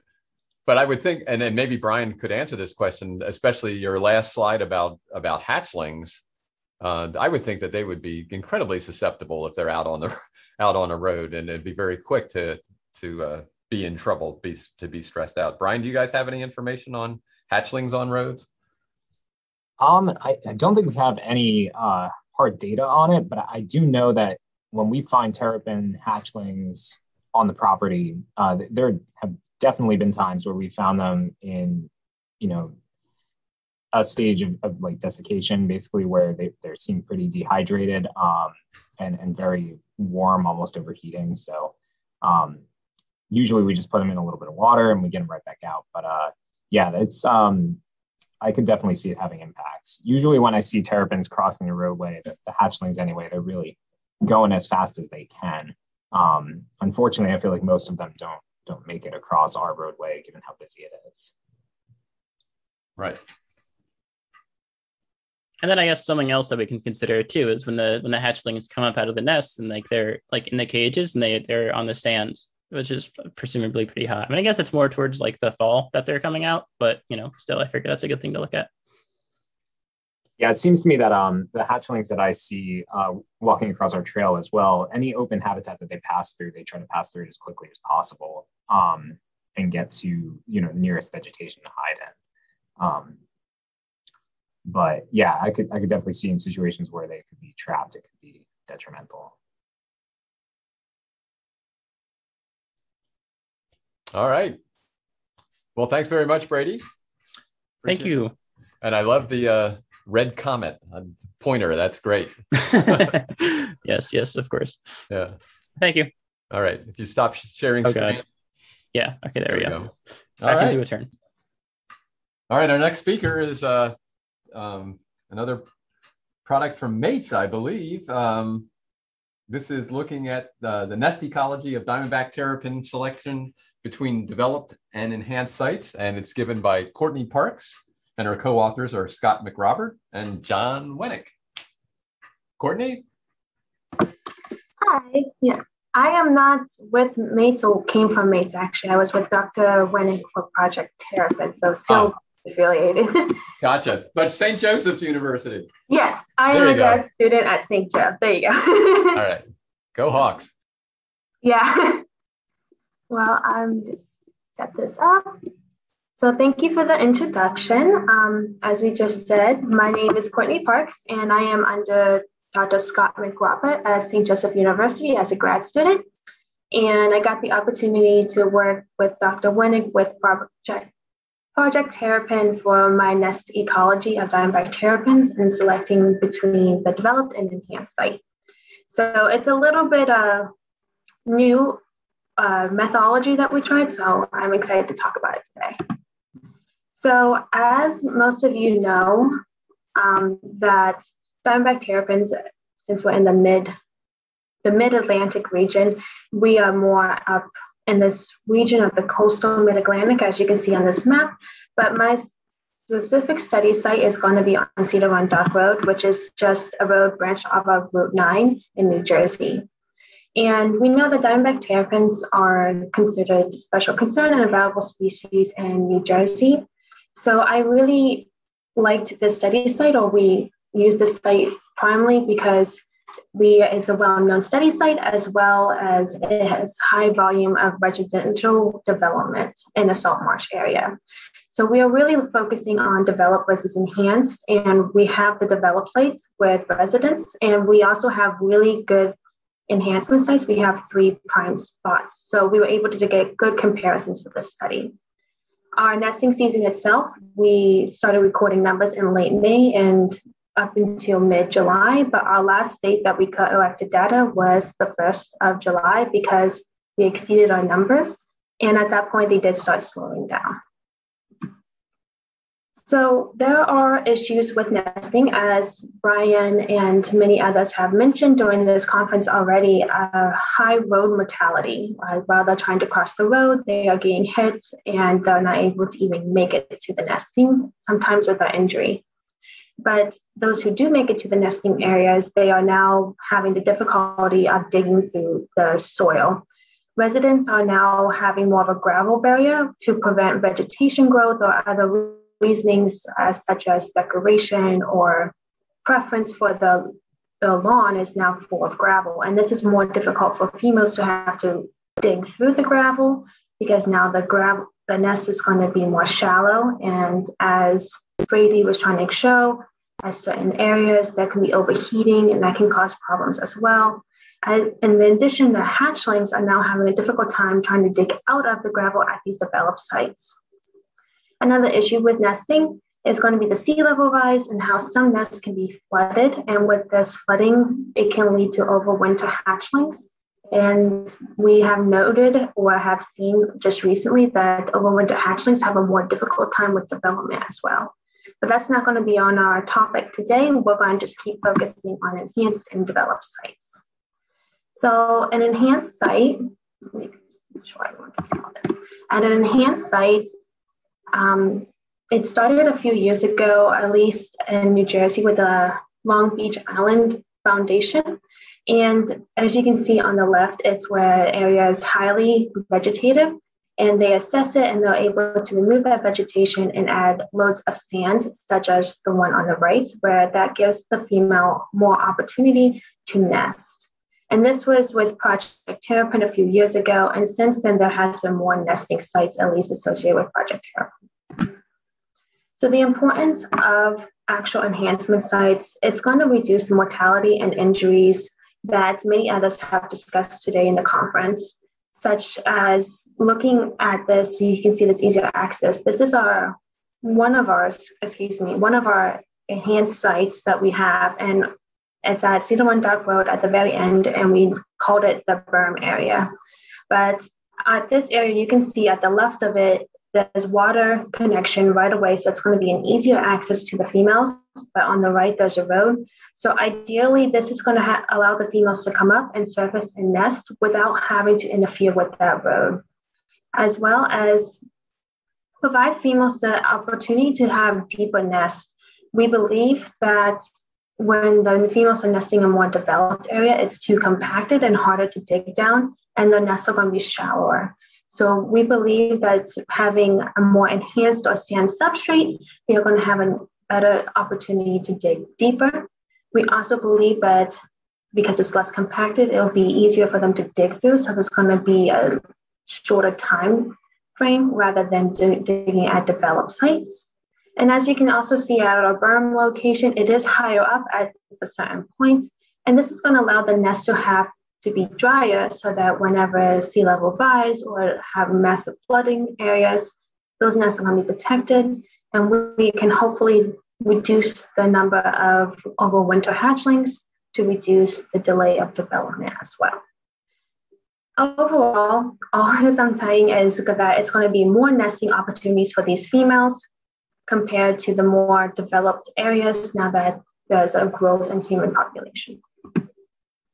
Just to re reinforce my image of developed versus enhanced, on the right is developed. As you can see, we would have categorize this gravel as small and dark compared to our enhanced site, which is going to be mostly sand substrate. And you can just see we were taking vegetation photo at this time, and at the developed site, there is no vegetation, whereas enhanced, there was some, but we were able to at least note both of them at the time too. So the main questions we're going to be addressing on this is the is there de- depth difference between enhancement and developed sites? And with that question, we have to also look at difference between limb lengths, and is there a difference between sh- shell size and limb lengths?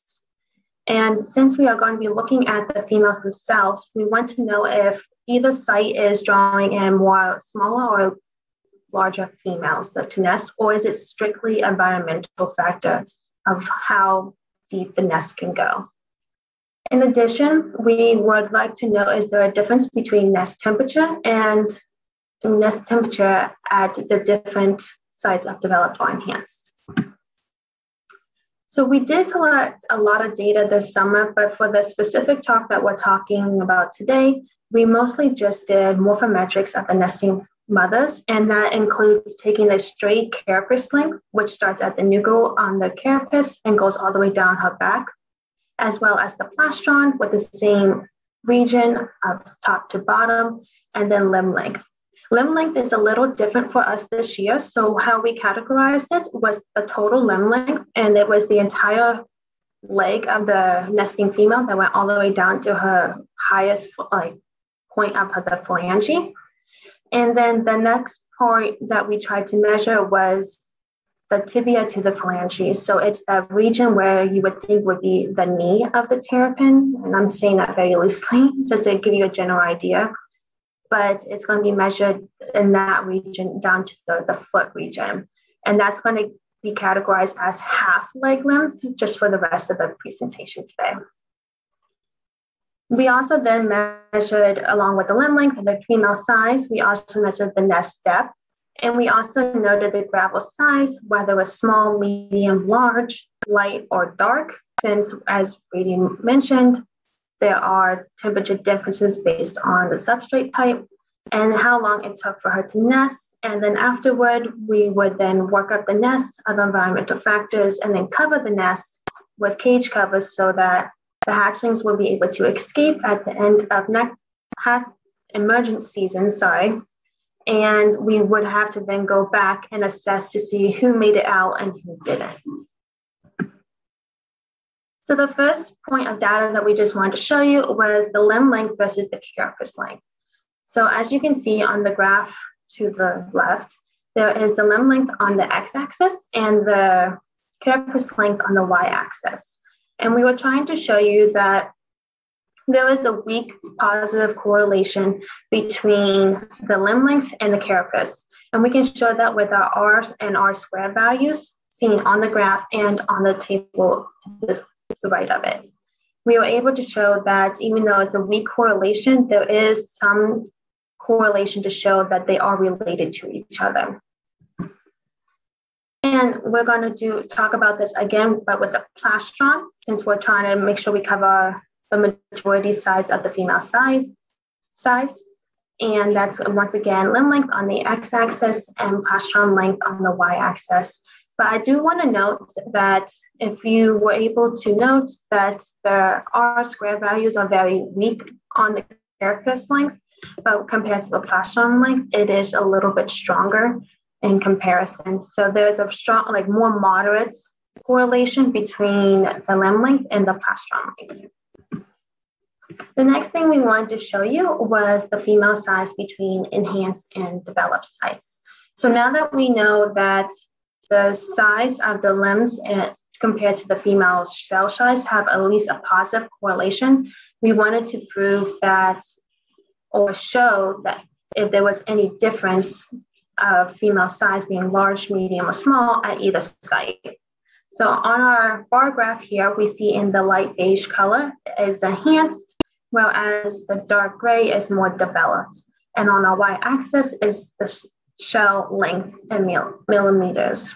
With that in mind, we were showing that with the p-value after our t-test of 0.6096, that there is no statistical difference between being at enhanced or developed site based on the female size. The next thing we wanted to show, since we just determined that the female size does not matter, is if there was an environmental factor of why the female or where the females could dig deeper at enhanced or developed.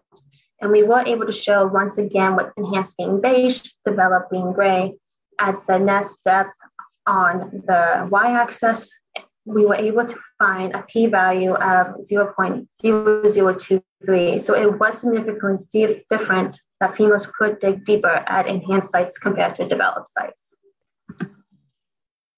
So just to conclude all those numbers and make sure we understand everything that happened, we did find out that limb length was possibly correlated with the carapace and plastron length, where plastron length was a little bit more strongly correlated compared to the carapace. We also want to make a note of this that we do believe that the numbers of the R values are variable because we did not have just one person measuring leg length. We actually had multiple workers trying to help with measurements since we did collect a lot of data this summer and we believe that there could be some variation because of that. And we're going to try to come up with a more stricter method for next field season. Another diff- thing that we found was there was no difference for the females at the nesting or enhanced site for the size. So a smaller female was not selecting a developed or enhanced site more often compared and same or vice versa for the larger female looking for a more enhanced or developed site as well. And we also saw that at nest depths, we were having a deeper nest depth at enhanced compared to the developed sites. So those who were able to go to enhanced site, they were able to dig deeper compared to those who were at developed, who was more compacted soil with that gravel barrier. They had a very shallow um, nest as well. And although the, our goal was to hopefully have the temp, nest temperatures of the two to compare enhanced versus developed. We are still collecting that data right now as the hatchlings are now starting to emerge within the next week or so. And once we have that, we'll be able to retrieve those iButtons that we installed in Nest at the bottom, mid, and top at each location. And we'll be able to have a general idea of how hard enhanced nest could be or how uh, and same for the developed as well to see if there's any types of difference between the two. And we'll be able to then assess if the nest was successful by hatchling emergence and see who's actually able to get out of the nest at either site. So long term, this is not something that's going to be just a few years study. We need to think of this in a climatological time period and we're looking ahead for like 30 years from now. We need to take action before it's too late. And I know Dr. Wnek has mentioned this to me a few times during the season, and I'm sure he has more um, knowledge or has the numbers to, to back it up and everything. But he did mention that 20 years ago, diamondback terrapins were very highly populated or using Sedge Island. And recently he's having a hard time with the nesting population this past year. So is was was there a need for enhancement sites back at Sedge Island 20 years ago to prevent the defall of nesting population now? So in order to prevent that from other locations, we are hoping to do future research of the nest temperatures, are there other environmental factors such as vegetation and soil composition? And is it faster or easier for females to dig at enhanced versus developed sites to prevent overheating and let allow them to get back to the water and away from the other elements faster? And to once again, to assess all this as success, we need to just measure it by the amount of hatchlings that we believe were able to emerge and successfully leave the nest. So all this information, it's all going to be continued at Athens, Georgia. So once again, it is just a beginning stage of a big study, and we would like to then present more information next year because then at that point we will have our nest temperatures at both sites, and we will have that statistics ready for you, as well as vegetation. So we did take a before and after photo of the vegetation of each nest, but some, obviously some nests, most of them have not emerged yet, so we don't have the before and after percentage to present to you today. And we would like to as well document those who were able to emerge at the developed or enhanced site as success, which site is more likely to help the terrapin population. And it's not a matter of when to add the sites rather than where and what other sites can we start adding enhancement sites to before it's too late. And Cedar Run Dock Road currently has three of them, but I know Ben Wurst from Great Bay Boulevard about two years ago has introduced an, his own enhancement site down there, and it's been very busy this past summer. And that's just one other site. And I believe that we should start trying to think of ways and look at the data to understand what we should do and perfect it for the rest of the nesting population. Just to wrap up, I wanted to thank all my assistants and those who have mentored me and helped me get through this summer project. It was a very busy summer and then was very hot on some days, but I everyone stuck it out and we got a lot of good numbers this year. So thank you, everyone. And that's it. I'll take any questions if anyone has any. All right. Thank you, Courtney.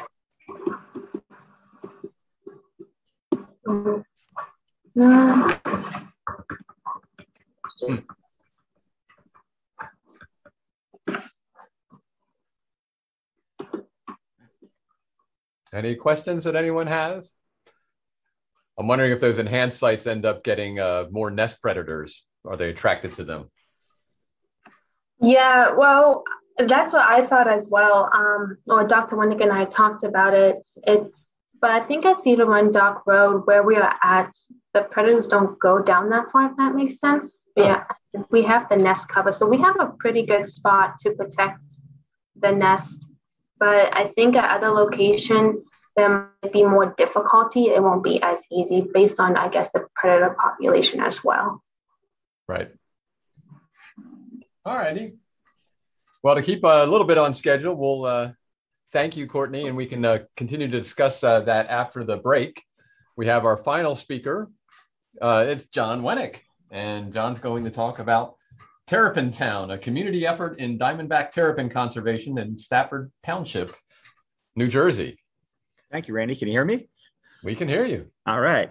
Um, I'm going to change gears a little bit. Um, you heard about some of the, the research going on, and more specifically, Courtney's work and where Brady worked at. It. We're in a place called Stafford Township, uh, sometimes called Manahawkin, and they have different regions within it.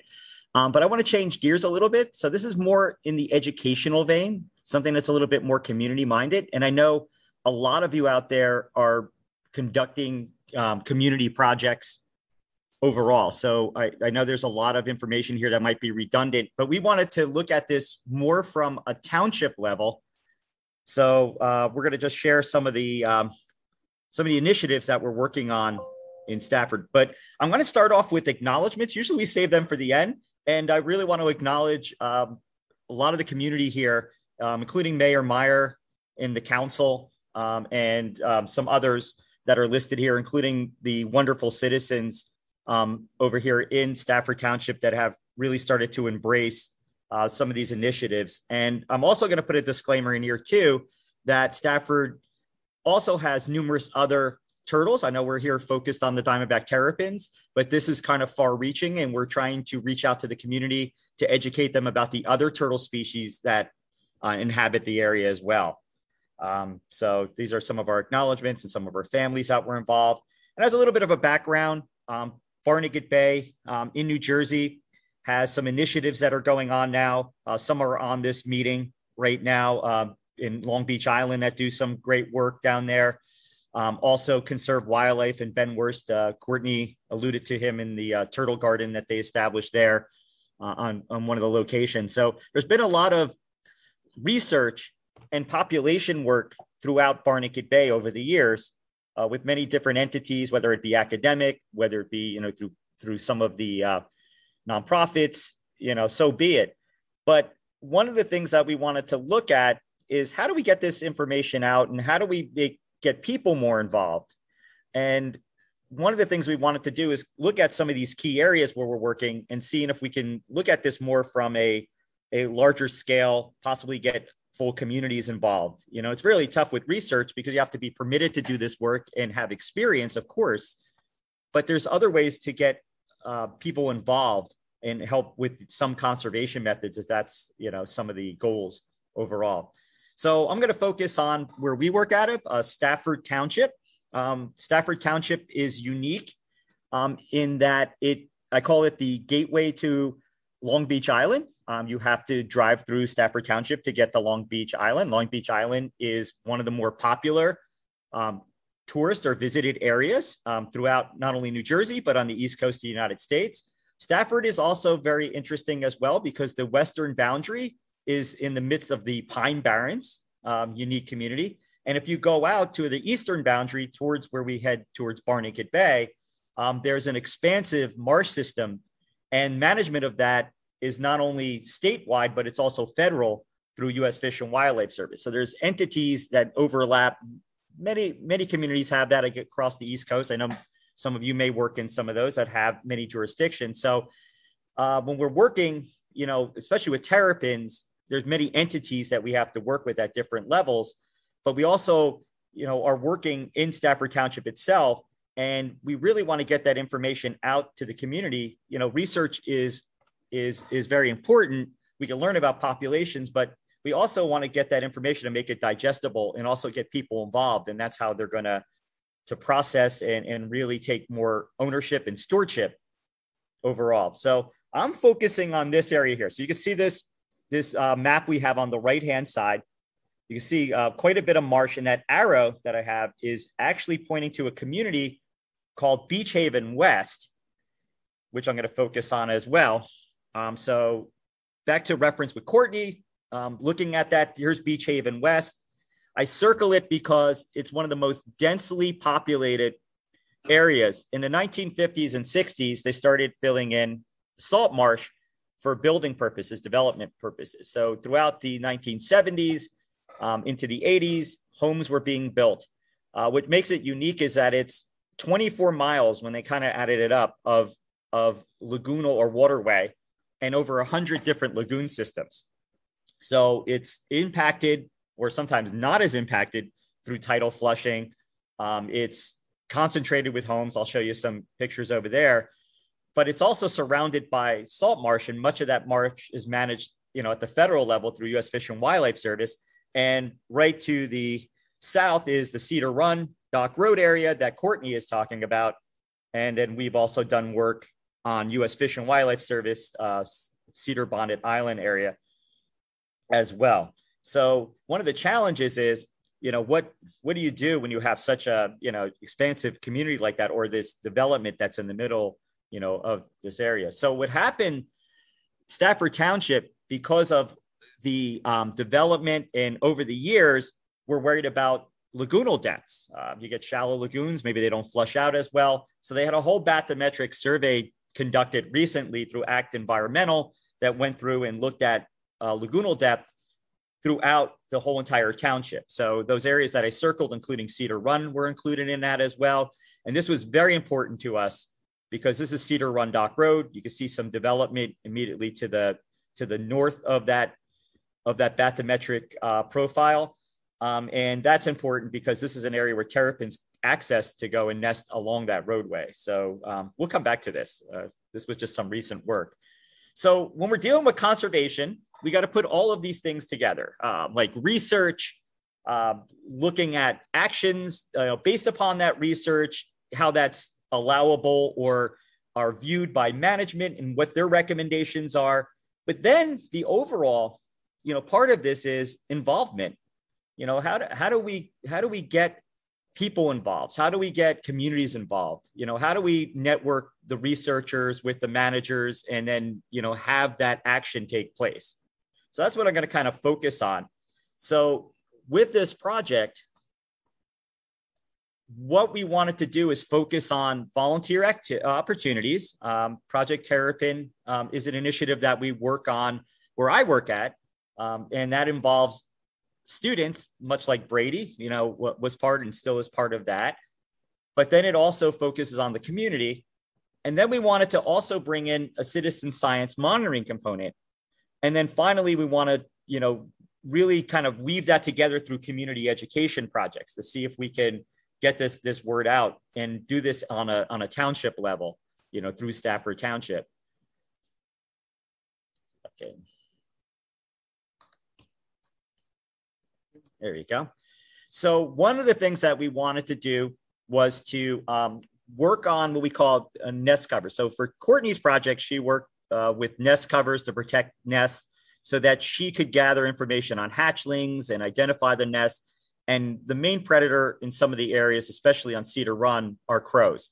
Uh, we're very fortunate, knock on whatever, because it's about three miles out through a marsh system that we haven't seen a high density of mammalian predators. I mean, maybe that's yet to come. That could always happen, but we're we're just dealing with crows now. So some of these cages that allow the hatchlings to emerge and protect them from immediate threats work out really well. Um, there's also some community members that reached out to Stafford Township itself and were concerned because they have terrapins that nest in their area and they, they have the crows that are digging them up. And the town and I met and we wanted to come up with some of these actions. What also helped was the fact that the mayor one day came out while we were conducting some population research on Cedar Run Dock Road. I didn't know it was the mayor at the time. Pulls up, um, he starts helping us measure turtles, and then he takes out his card and introduces himself as the mayor. And he had some experience with this back in the past when he was an undergraduate, um, as, as, far as some terrapin work. So that's kind of opened the door. His his exposure to terrapins initiated this conversation, and we kind of moved forward. You know, if we we went a few years ago, we this uh, actually happened. But overall, what we're what we're doing is um, we're putting together what we call like nest covers so that we can make that. So we have some students kind of making them over there on the left hand side. And then here's the uh, tower of nest covers that we have in the school. And that was a volunteer effort. And one of the things that I kind of wrote and I put over here to the side is that we're kicking off this initiative with COVID restrictions. So a lot of things we have to do have to be due not only with spacing, but involvement is very difficult, especially when we have COVID protocol uh, protocols in place, and we um, are trying to do this as safely as possible. So things should even move ahead more. Um, one of the things we're able to do is um, what Courtney is studying on nest site enhancement. One of our areas, we're able to get um, one of the local uh, scout groups, that's Girl Scout uh, Troop One, actually out of this area in the Manahawkin area. And they came out and helped us get the turtle garden um, ready for use um, this, this past year. So we're going to have that as an ongoing initiative in some of our areas to get those groups involved as well, because they heard about what we're doing. But back to Beach Haven West. Uh, we're working on Cedar Run Dock Road, and there's a vast marsh system there. And I have these arrows kind of moving towards that area that I'm talking about in Beach Haven. Um, one of the roads I have outlined in red is Mill Creek Road. Um, I also have this other line. You can see these lines going out to um, this area over that circled in blue. That's the uh, Cedar Bonnet area that we've been doing some work on ourselves. It's uh, once again U.S. Fish and Wildlife Service managed. So we go over there with research assistants and permitted personnel to go over and do some assessments there. But we also noticed that there's, um, you know, some nesting that is taking place even on that Mill Creek area, and that's where you know our project kind of comes into play to get the citizens a little bit more involved in that.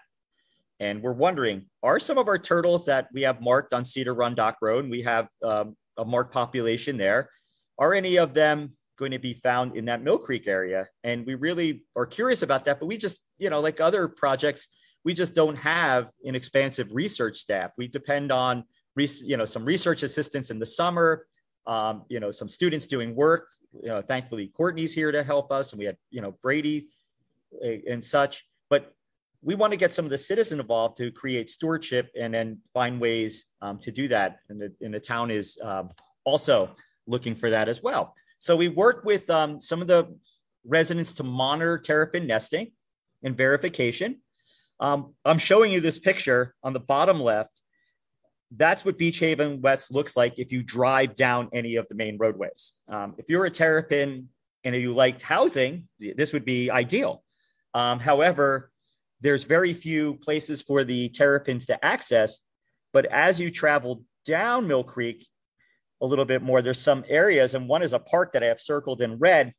And conveniently for us, right across the street from that park are the Koza family, Joseph and Fran, who stepped up to become what they call Mill Creek Road coordinators.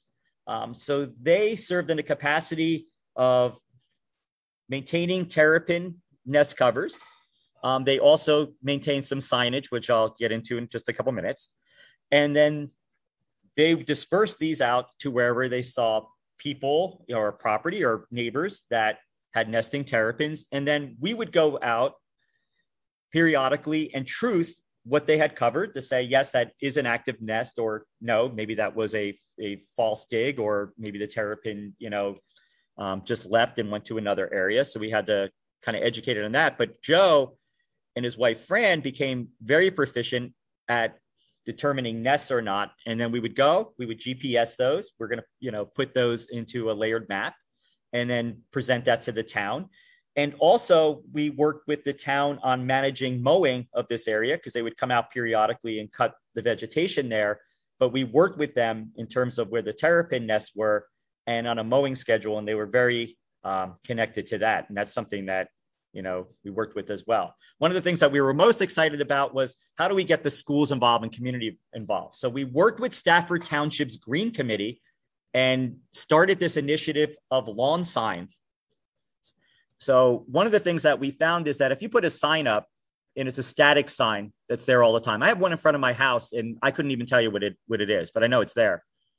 However when we go down cedar run dock road we find a series of signs that were handmade or seasonally put up and they become they stand out a little bit more so what we came up with was a concept where we would have a design contest have lawn signs made up and then have residents agree to put the signs up take them down you know after emergence or you know at the end of the summer and then put them back up again next year. I mean, that's based on if they're going to still, you know, be at that residence or not. But we ended up putting it out through a community contest. So we put it out through Stafford schools. We put it out through the uh, Stafford Township has multiple social media sites that they get information out on. Um, and these were just some of the finalists when they submitted their their renderings. And uh, the one we went with was the one on the top left, and we had those signs produced, and they were distributed through the town. So you can contact the town, and you could pick one up from town hall, or you could pick them up, you know, at those what we call regional coordinators uh, places like Joe and Katie. And then I also wanted to um, point out the the one on the top right, the turtle crossing sign. It's actually behind me as well in the room here. Um, that one, you know, didn't take first place based on this committee, but it was just too too neat to not have produced. So we produced some of those anyway, and they became really uh, popular. So we had those individuals that designed those signs. It became a it became something that was well received in the community, and uh, you know we look forward to that. The other thing we did was a series of information pieces. The mayor was nice enough um, to include us in a podcast. He did that prior to the start of nesting season, and they they periodically put out announcements about terrapins um, or other turtles too. We, we alluded to that in, in, the community, and you can see some of the posts that were out there as well. So that that's an important initiative. And in town hall, they put up a display so that when you come in, you can um, you know see the um, display about the signs. And we're going to continue with those social media kind of blasts that they use for conservation purposes. So, future collaborations. What are we going to do to kind of continue this? Um, we're going to do the lawn sign contest again. It was very popular, and uh, you know, it was something that we felt the community got more involved with. Um, we're we're talking with Stafford right now, and they're putting together a firm date on some type of festival. Hopefully, you know, in person in the spring. We wanted to do this in person. Um, I didn't even talk about bycatch reduction devices. That's something we do at Project Terrapin. We just distribute those. We're going to get into that in the next phase about making people, you know, more BRD wise um, and, and trying to get that initiative going. Um, increasing more surveys. We want to see what the effectiveness is, you know, in terms of what we do, but we also want to get uh, more people involved in surveying and, and take that up another level um, so we can get some data on on habitat use and so forth, and possibly look at enhancing one of those park areas as well. And then once again, those community posts and social media um, phases are going to be important. So the one thing I wanted to say is, um, you know, um, you know, contact me if you have any comments or questions. I know this is just a basic overview of some of the initiatives that we're starting to do with the towns, but taking this kind of approach, I really feel we have a greater community effort.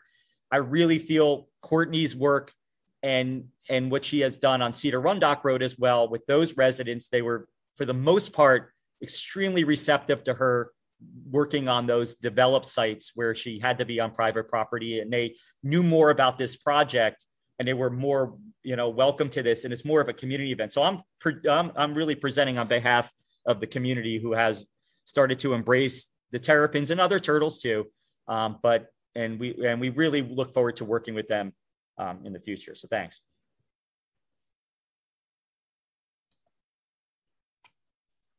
All right. Thanks, John. We have time for questions. If anyone has any questions about that, I mean, that was really at the granular granular level to uh, have to get that level of engagement with so many different groups to uh, to make this to make this really work.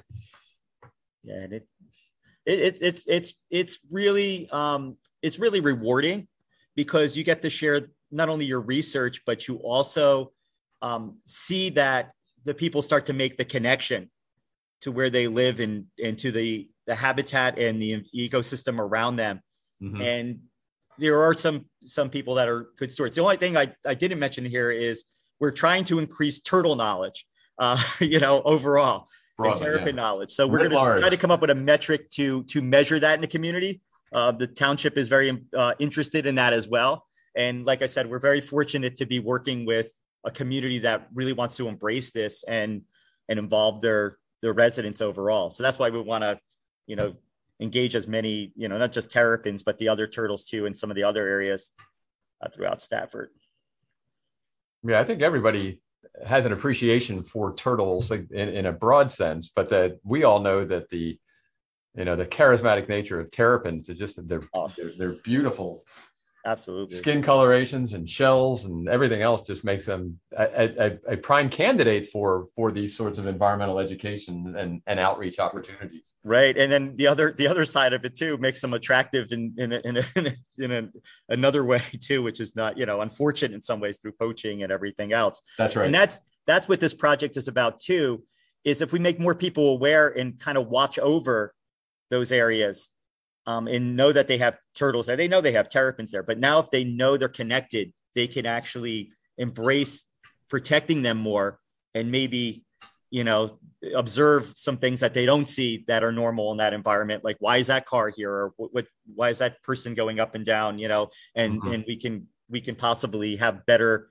um you know what do you want to call it? Observations or supervisions you know over over the terrapins. Right so who permitted the beach island west who, who, who allowed that to be developed like that that was um new jersey stated uh, it, in fairness it was before the dep was established Ah, It was just that marshes were considered mosquito laden areas that you Yep. can get very, you know, very inexpensive properties. Sometimes you were able to to secure a marsh through a newspaper subscription. They'd give Mhm. you a they'd give you a piece of a marsh and no one really wanted to take hold of it because you would get bit by greenheads or mosquitoes and it Yeah. wasn't you know it wasn't a place that you would enjoy. But some people figured out that if you filled it with with some fill material that it could actually support development. And um, and we know across our range here with terrapins you know those coastal areas are so prized in terms of development you know. Not only are their prizes to us in terms of like what their habitat supports ecologically but you know on the other side of it they're where people want to move to you know? Yep. Do those canals have uh docks? And are people crabbing off of those docks or? There there's so many resident it's it's very difficult to find areas that are open in between those areas. You you the density of homes um is just so great. I didn't point out i also have to point this out too that joe and fran koza are also president of the beach haven homeowners association Mhm. so we're able to mobilize you know as many people as we can on this project uh just getting and we didn't know that going into it but but joe is very excited and he's he, you know he's doing that but they're also i brought those bathymetric maps in because there's talk you know it's just talk now because they have to get permitting that eventually if they get permitting to do dredge work um, there's some beneficial use aspects of what they do with the material that we're you know we're looking into to create you know additional nesting habitat for terrapins. Mhm. so that that's on the the radar for way down the line but that's another layer of this project that we're looking into. So. Right. great. Any other questions for john? Yeah i heard about crows digging up nests somehow. Um, the crows are definitely going after the eggs in the nest. So that's those the cages kind of work well to prevent that you know from happening.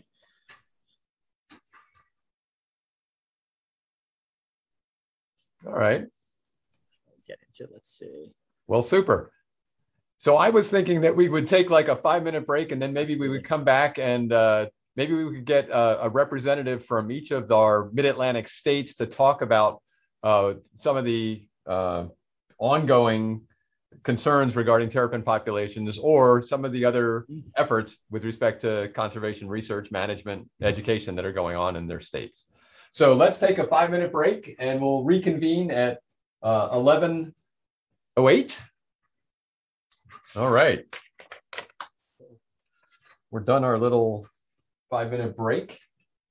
And uh, we can get back to a, a little discussion uh, about diamondback terrapins from a number of different frameworks. Some could be responding to talks, uh, some could be a, a general discussion. One thing I was interested in uh, is finding out uh, what's the latest and greatest from each of the different states uh, that are in the mid-Atlantic region. We've had a lot of presentations today about turtle nesting and detection uh, in New Jersey area. Um, what else is happening in New Jersey uh, from the management side? Uh, I see Brian's on here. Um, What's ha- what's happening with respect to turtles? Yeah, hi everybody. Um, yeah, thanks for this chance to give you know a quick update. I'm going to run through.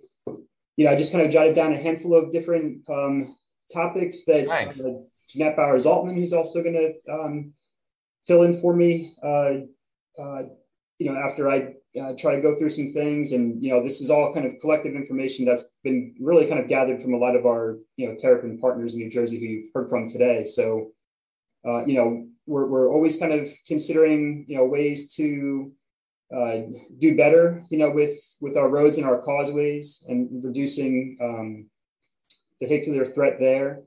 Uh, I think there's a lot of folks interested in seeing what's going on in the, um, the infrastructure bill at the federal level right now. Uh, you know, it's a very big bill, but uh, I just saw something the other day that there might be something like $350 million in there that might be earmarked, earmarked towards wildlife passage. So I think a lot of states are closely keeping an eye on that. Um, you know, again, going back to one of the presentations, you know, New Jersey thinks a lot about, um, you know, uh, crab pots, commercial and recreational, soak times, uh, BRD compliance, uh, you know, derelict and ghost crab pot traps. Uh, we think a lot about, uh, you know, sea level rise um, and, and, you know, just trying to figure out, you know, where we might be able to maintain or, or create more resilient nesting areas. Um, you know, Jeanette and I get get stuck with uh, doing a lot of environmental review, and so you know, some of the projects that come up a lot with that are, uh, you know, dredging, uh, you know, beneficial reuse of, of dredge materials, uh, you know, beach replenishments, things like that. And, and so, you know, learning more about some of those kind of critical habitat areas for New Jersey terrapins, overwintering areas in particular, nesting areas in particular, um, and general habitat usage is increasingly becoming more important for us to understand better. Um, and, and maybe just to back up a step, uh, terrapins in New Jersey are what we call um, a, a, candidate species for special concern. They're not truly a special concern species yet. That has to go through uh, rulemaking, um, and and you know we'll, we'll kind of see if if that process starts this year or perhaps sometime you know first quarter next year.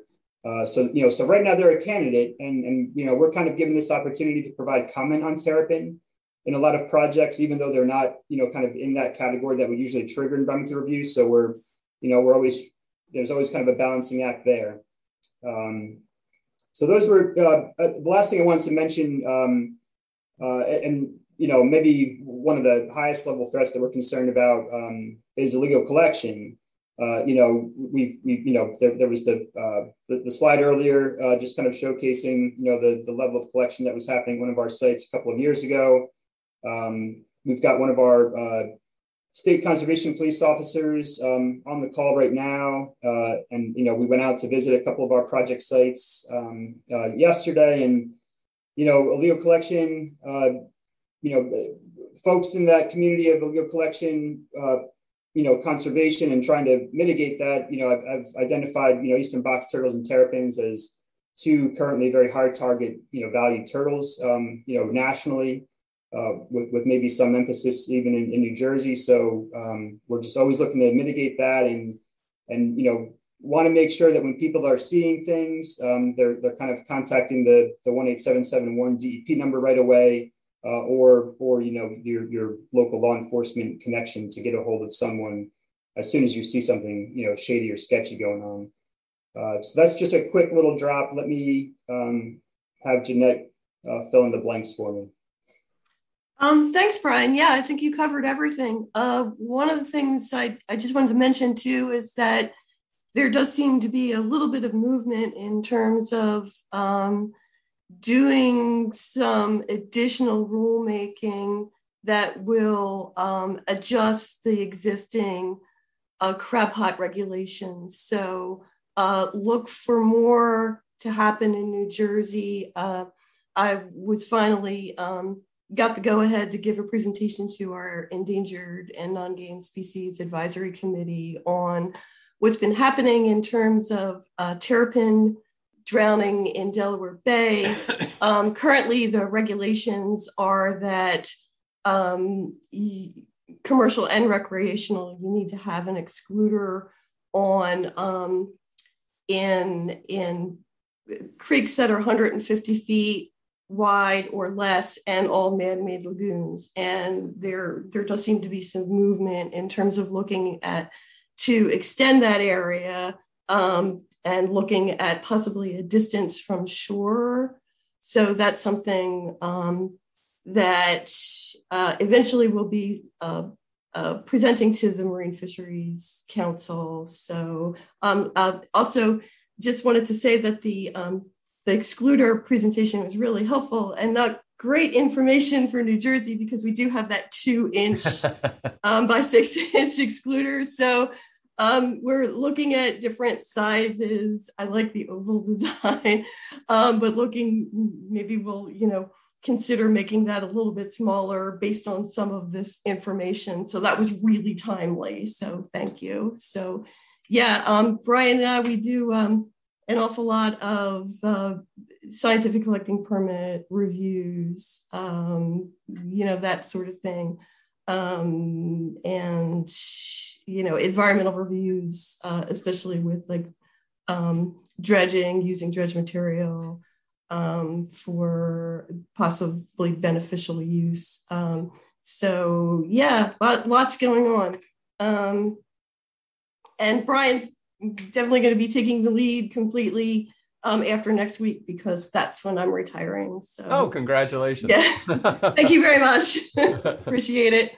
Yeah. So uh, coming back to volunteer though, so I'm sure I'm going to be out there, uh, you know, working with some terrapin, you know, groups on some level. Yeah, you can't retire from that. You got to keep going. no, definitely not. So. All right. John, you might be seeing me. All right. Thank you, Jeanette. Thank you, Brian. Uh, Nate from Delaware Fish and Wildlife, uh, care to provide any updates on what's happening in Delaware? Uh, sure, I can um, uh, talk about some of the projects that we're doing in Delaware. Thanks. Um, you know, terrapin in Delaware is listed as an S4 species, so uh, that means apparently secure, but we do do a lot of work with them.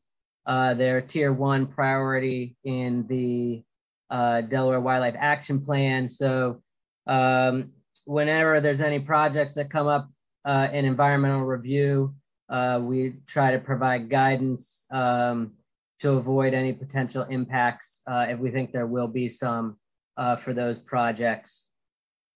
we have a volunteer program run through Delaware Fish and Wildlife um, to help turtles cross uh, a section of road uh, that lines uh, the Delaware Bay, uh, runs for about a mile. Mm-hmm. Um, we have volunteers go there and move turtles off the road uh, during nesting season. Um, we also have a, a, a, long section along a major highway um, where we have it fenced. Uh, that stretches about five miles uh, in total. Um, Delaware State Parks is in charge of that fencing, and they just recently replaced it um, this past winter. Uh, we also have our uh, work with uh, Delaware Center for the Inland Bays. They do a lot of uh, volunteer and community um, interactions with terrapins. I do know that they do uh, head count surveys uh, uh, throughout the inland bays um, and, and try to get uh, community basically involved in terrapin conservation. Um, and finally, uh, Delaware Sea Grant, uh, which is through the University of Delaware, has initiated a project with derelict crab pots and they're working on determining how many uh, abandoned pots there are uh, in the inland bays in Delaware. Uh, they have been going through and removing some as well. Um, and that's a project that just got started uh, within the last uh, year or two. Um, so we've been, been assisting them uh, with that research.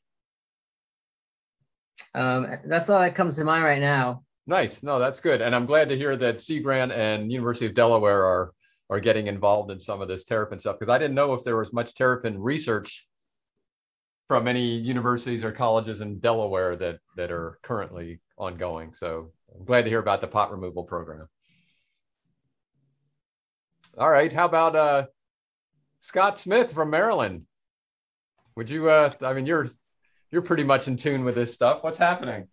Sure. How you doing? Um, Good. So, so just like uh, Delaware, Maryland, uh, uh, terrapins in Maryland are an S4 species, so they're apparently secure. But they are in our state wildlife action plan as a, a species of greatest conservation need. So we we have um, over the years, we um, um, at least since the last uh, swap in 2015, we have put a significant amount of uh, money towards doing monitoring and, and other things like that. Um, currently, there's a, as always, there's a lot of things going on with Maryland with terrapins, and there's a lot of different players. Um, the Maryland Coastal Bays program um, continues to do, do um, uh, head count surveys that, that we began back in 2011, and they've they're they're still doing them with using citizen scientists. Uh, they also um, have been doing some ghost pot removal. They recently did a um, or attempted to do a citizen scientist ghost pot removal effort in in the uh, in the coastal bays there behind uh, Assateague Island, um, and it had had mixed mixed uh, success. But uh, it's uh, interesting to use citizen scientists to do that. Um, we are um, um, well, of course, there's the uh, all the the research that uh, Willem Roosenburg does out at Poplar Island, um, uh, particularly continued nest monitoring and and and the huge head starting program that not only uh, Ohio University is involved with, but Maryland Environmental Services, um, the uh, um, Arlington Echo, uh, the National Aquarium, um, and uh, and other folks uh, with uh, terrapins in the classroom. The pandemic has really kind of impacted um, a lot of both field efforts and other efforts, as I'm sure it has in in, in all states. Um, the Department of Defense at, at, Pax Naval Air Station on the Western Shore has been monitoring and, and doing uh, nesting studies with their um, terrapin population for quite a few years now. Um, one of the one of the more recent projects we DNR have got involved with was um, one of our uh, long uh, rural roads that goes through a lot of marsh habitat um, in Somerset County. A few years ago, we had a huge, uh, massive uh, turtle roadkill uh, uh, issue. Um, over a seven mile stretch. There was uh, I don't I can't remember the number of turtles, but of seven different species were were road killed, with terrapins being the highest. So working with SHA, um, they are going to be we're going to do an experiment. It, it, was supposed to start this year, but they've been having problems getting um, the fencing. Uh, we're going to uh, talking with um, the folks at the Wetland Institute. We're going to model some of it after what they're doing using that six inch corrugated um, uh, tubing, and we're going to be placing it on a mile section of uh, uh, going through the marsh. It's a causeway um, on both sides of the road. So it's it's basically uh, we're buying two miles of uh, fencing um, and uh, monitor that area um, for um, for turtle turtle roadkill, and and it's going to redirect them. Um, and state highways is paying for all this. Um, I, I hope it leads to an evolution where they realize they need to put in some turtle crossing, some actual, uh, similar to some of the work that's been done in New Jersey for bog turtles and in Florida for turtles with um, some of the uh, turtle crossings through the roads.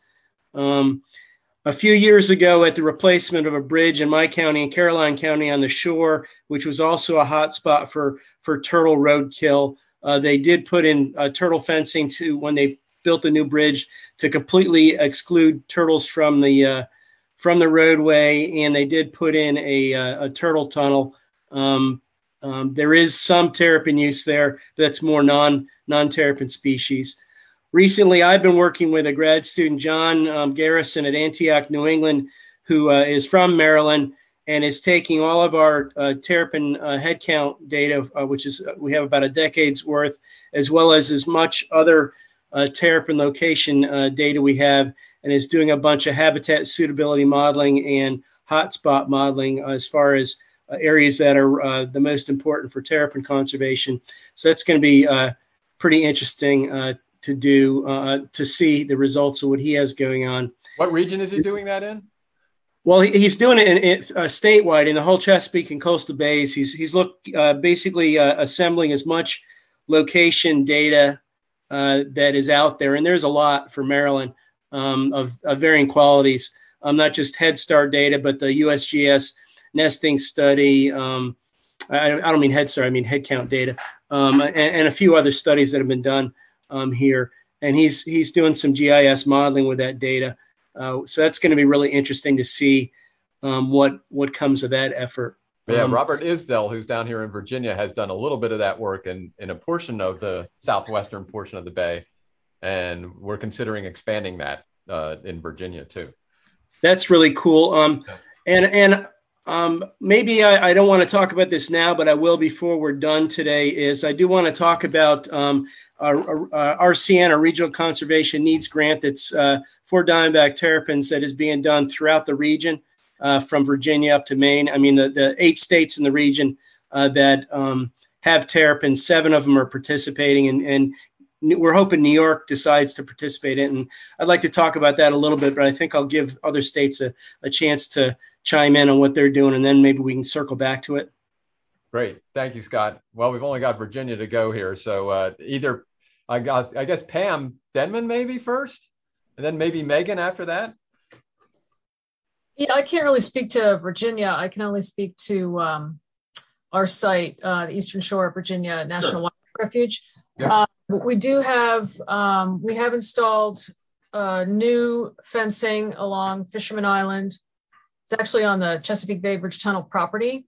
Um, it's uh, made out of concrete. We we were using the Wetlands Institute, um, con- I mean the uh, corrugated tubing before that, but we were having a lot of issues with um, it becoming degraded um, and vegetation maintenance around it. Um, we're still doing a lot of maintenance with the concrete, however, with uh, vegetation maintenance, and we get some wash under uh, right. storms. And so we have to put gravel back down. But uh, the other issue we have is it's not totally um, extended along the entire area. So we are getting some escapes. Um, but in all, I think it is working better than the concrete barrier. Um, last year we had four escapes that got hit, and this year we had four again. Um, so I think it, and, and they were all seem to be in the area of the end on the one side. Um, that's not totally encapsulated by the barrier. Um, we got the funding through federal highways and the Chesapeake Bay Bridge Tunnel was the person that put the application in. We couldn't put the application in, but they could. So um, all in all, I think it's I think it is a little less maintenance than the um, the plastic tubing, but there still is some a, a, bit of maintenance involved with keeping it keeping it going. And how many was that? I mean, reduced to four, but how many were hits were you getting of ter- terrapins in years past? So it's hard to say. We've been monitoring since 2006. Uh-huh. Numbers we were getting with so we've this is our fourth version of fencing. Um, so with our our our first and second versions, we were still getting about 70 plus animals. So it's it's reduced it, I think, quite a bit from even when we had the prior fencing. We only did a year of monitoring before we put up any fencing. And um, I can't off the top of my head tell you what that number was, right. but it was not it was not as intensive monitor the monitoring was not as intensive as it has been since we put up the the barrier. Mm-hmm. We're trying to keep better track of the effort these days than we were in the beginning, so we can match effort to because um, we we can't always go out every day and check. Uh, we try to, but we, we, but the information that Brian gave us is, will be very helpful um, as far as when the optimal time to check. I kind of know I, that kind of matched what I know in my gut, but it's it's nice to have to see that um, kind of line up with what I what I see out there. Right. Nice. Thanks. Uh, sure. Megan from Department of Wildlife Resources, do you want to uh, talk about anything?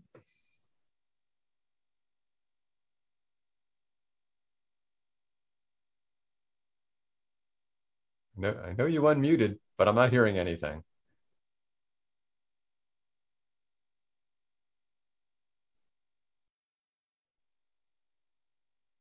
Huh.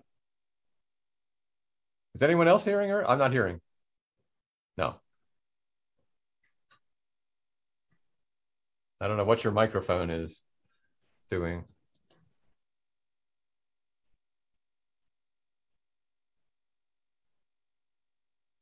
I'm looking. I don't know. I can I can throw one quick thing I forgot to Sure. mention.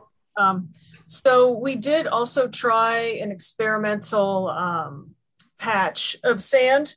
We rototilled it up uh, where we where we think most of the the terrapins are coming out of the sand, uh, out out of the marsh under the sand, and we put cameras on it, but we didn't get any any of them using it. Ah. So uh, we did try it. Um, we also do one other concern we do have with this barrier is it is funneling raccoons. Mhm. Um, we are doing predator management, but we're not getting every raccoon, so that's that's a concern with the barrier as well. Yeah. Randy, can you hear me now? Yes. Ah, I don't know what was going on. um, okay, so yeah, I'm I'm happy to give it a shot as a small update or, or just kind of mention of what we're doing here at the Department of Wildlife Resources. Um, you know, honestly, I'm pretty new to the department. I've I've worked here for about a year and a half now. I came up from the southeast where I did a lot of terrapin work, so I'm just kind of adjusting to mid-Atlantic life. Right. Um, and of course, JD, our state herpetologist, can't be here today. He's the one who'd probably be the most appropriate person here. Um, but you know, terrapins in Virginia, they're a tier two species of greatest conservation need in our wildlife action plan, and um, JD and I are, are both really, really interested in, in ramping up our efforts related to terrapins. Um, just because it's it's something that you know they've always kind of been on our radar, but we have one herpetologist, so there's there's lots of species that need help here in Virginia. Um, but but we're starting to to do more with them. One thing that we've done this past year that I'm super excited about. Um, our agency actually has uh, a membership initiative that's called Restore the Wild. It was developed about just a couple years ago, and it's a way for like non-consumptive wildlife recreationists, so photographers, viewers, etc., um, to get access to our public lands and contribute funds to the agency, and basically have a voice in in how we're managing for for species, especially those non-game species, which is something they've wanted for a long time. Um, and so every year with Restore the Wild, we select a species or a group of species to be the ambassador animals for the year that, that we use in our promotional work. We do artwork contests. And then um, all of the funds that we raise from Restore the Wild at the end of the year, we have an internal grant program that where biologists, our lands and access staff can uh, can submit projects for to receive funding to increase habitat or, or conservation efforts for those species. And this year, our, our species uh, were Virginia's imperial turtles. So we have had lots of stuff come in related to terrapins, which has been so exciting. Um, this was the most popular year for our artwork contest ever. It, it actually received more submissions than our state duck stamp, which was really exciting. So we now have a whole suite of really cool terrapin artwork we get to use for promotional and, and educational stuff. And um, Nice. we've got several thousands of dollars that are, are getting ready to be advertised to our staff members here so that we can all start um, writing our, our grants. And I have several ideas that I will be submitting for grants to increase um, uh, some of our terrapin management work here in Virginia. So that's going to be great for us. And then the other big thing, of, of course, that you know about Randy uh, is that the RCN money. Um, I don't Scott know. was talking about. Yeah, yeah. So I don't. I, I maybe I guess I'll just save that. But but I'm I'm going to be involved with that a little bit, and and especially developing a statewide citizen science project for for terrapins. Um, within a similar framework to how NAMP used to be. You know, people get loops and they'll survey them three times a year. So I'm really, really excited ab- about that. Um, I think that, and I think that's really it for us here in Virginia for now. Like I said, I'm sure JD would have more to add, but that's at least what I've got going on. Excellent. Thank you. All right, so that's from the management side. Does anyone want to add anything before we uh, circle back around to Scott and talk about a regional conservation network? John, you will have something? No, no, I, No, all right. nobody does it. Yeah, it'd be good to get into the RCN a little. Hearing none. Scott, I think you're back up again. Okay, well, um, so uh, I was actually up late, late last night finishing this final draft uh, grant proposal, which is being looked at today in a meeting of the uh, uh, Northeastern Wildlife Diversity Technical Committee, and um, it sounds like they have um, uh, mostly decided. I think it's going to be 100% decided after today to um, promote our proposal to go to the directors, and the directors of the Northeast states uh, will make the final decision. But it's basically um, going to be a, a $200,000 of federal money uh, plus a 35% match. Um, actually, let me go back a little bit. So RCN, these these uh, regional conservation need grants, the Northeast states all decided quite a few years back to put in four percent of their allotment uh, uh, of this federal uh, these federal dollars into a pool that would be used for uh, conservation projects for um, for um, SGCN species in this region, um, and um, for instance, there's there's an ongoing uh, turtle uh, uh, project going on that includes uh, box turtles, spotted turtles. Um, I know Brian Zarate could probably jump in here and tell me say a few more. There's a uh, a project going on for um, pollinators um, that uh, one of our one of our staff our staff entomologists is heavily involved with. So it's really funded some really great work. So, anyways, this project is going to have a number of parts. Um, the first part of it is going to be um, trying to get every state that has terrapins in the region to be collecting data the same way, using the same methodology for headcount surveys, whether they're land-based surveys or water-based surveys. I mean, it would be a different methodology for each of those two types of surveys. And all that data go to uh, one central place and uh, be um, be used to model for both um, state by state uh, terrapin concentration areas, but also to model a regional um, terrapin uh, conservation network or conservation area network to really help us identify what are the most important areas um, in in the in in this Mid Atlantic and Northeast um, region uh, for terrapin conservation, and so um, that's part of the RCN. There's more parts, and so that part of it, uh, we would be basically uh, putting out a, a, a, request for proposals for someone who's really going to be more of a, a, a tech person who's going to put together uh, some type of a um, uh, of a a web portal, a secure web portal where citizen scientists can collect data and enter it in there. Um, uh, that the uh, whoever ends up be, you know, getting that contract would also quality control that data, um, pull it into GIS databases, do all the modeling, uh, produce maps, produce final reports, and, and, a, and a publication or two out of it. Um, so that's one part of it. The other part of it is kind of um, along what Sean Starrett uh, started us out with is uh, drone surveys. Um, there's a really huge uh, potential of these drone surveys uh, particularly if, if we can get them to the point where the methodology could be used by um, citizen scientists. Again, there are a lot of people out there, the general public, who own drones.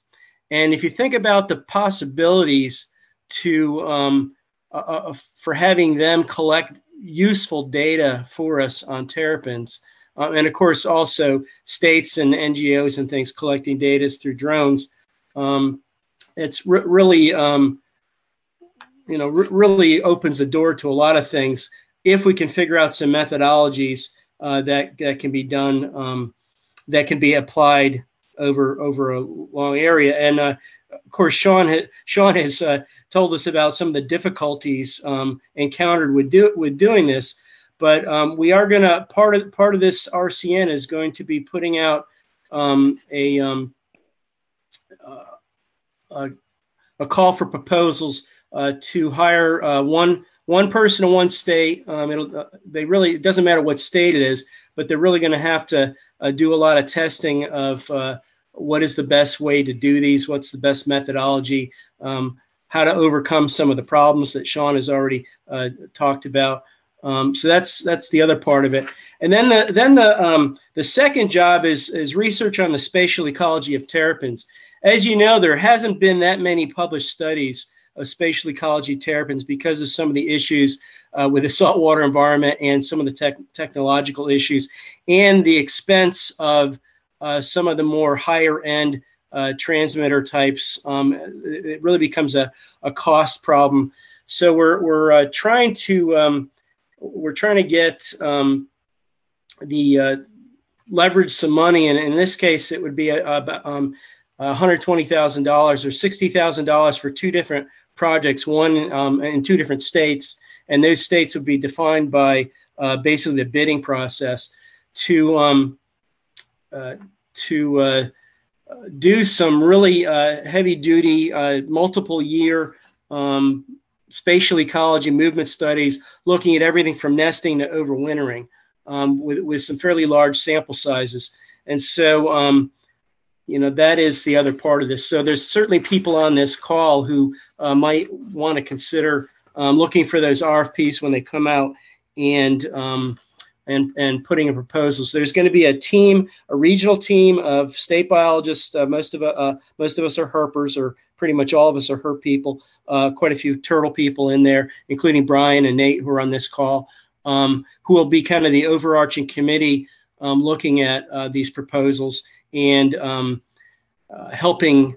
Uh, helping kind of run the whole the whole program, which is going to be from fiscal year 2023 through 2027. so it's uh, counting the field parts of it and then uh, all the the laboratory and, and computer and statistical parts of it and, and modeling and, and report writing. Basically, it would end in 2027. That's when uh, things would need to be wrapped up.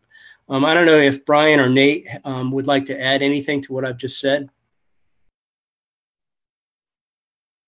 I mean, first and foremost, I just want to thank Scott for kind of shepherding, you know, us state folks to to getting this done. Um, you know, the the RCN this kind of last round of RCN proposals was in a bit of a limbo state, and we we kind of heard last minute that there was an opportunity to kind of reduce funding from our um, original proposal and, and try to move something forward. So I want to say thanks to Scott for doing that, and just to kind of provide like a real like broad overview of kind of what this means. Um, you know, if, if and when this is funded, you know, we've got six um, Northeast uh, regional species of greatest conserva- conservation need that are turtles, um, bog, spotted, wood, box, you know, Blanding's, and, and terrapins. And, you know, most of those other turtle species have received a significant amount of, of, of funding that's kind of derived through state wildlife grant, uh, competitive state wildlife grants, or, you know, kind of previous RCNs. And so, it's really good to see you know Terrapin um, getting some of this uh, potential funding, and you know what we've talked about at the state level is also you know using this RCN as kind of a gateway to hopefully a, future um, you know region, regional competitive SWIG grant, which could feed off of results from this. Um, expand some other, you know, kind of priorities that we couldn't kind of cram into this budget, uh, you know, like illegal collection, you know, other um, you know other topics that we had to trim from this proposal but it, it's really exciting and you know yeah like scott said i hope i hope we um, hear back very soon and, and get some money out the door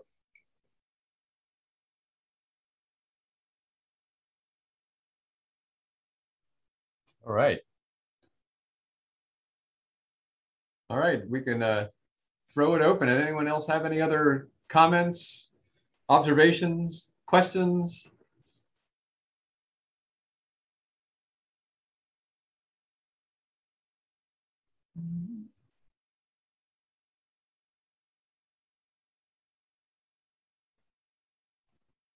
I've got one. If, uh, if I can.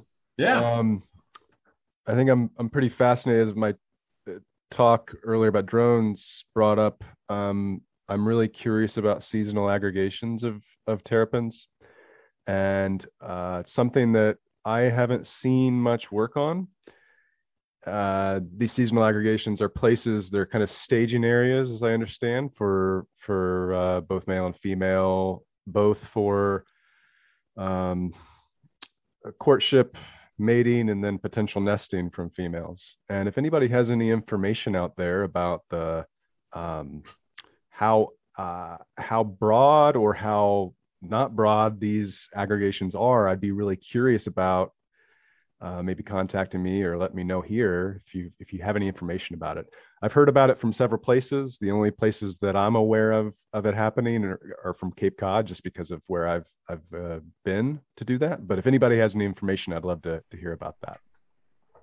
Sean, we've seen that in Maryland um, with our headcount surveys. I mean, in fact, some of a lot of the timing of the headcount surveys when we first started and back in 2011 was to try to capture that because we see in a lot of sheltered coves, you see these large aggregations of um, of terrapins, and they're mixed sex, and you know, there's obviously some some mating going on. Um, you know, the, the question is, do they also overwinter in those areas? I mean, uh, these are often sheltered coves. So are we just catching animals that are just coming up from, from hibernation or, um, or, or are they, you know, or, or are they these pre-nesting uh, courtship and mating areas? And, um, but, you know, large, large concentrations, 50 plus turtles, all, you know, in a, in a small cove, um, usually sheltered, often south facing.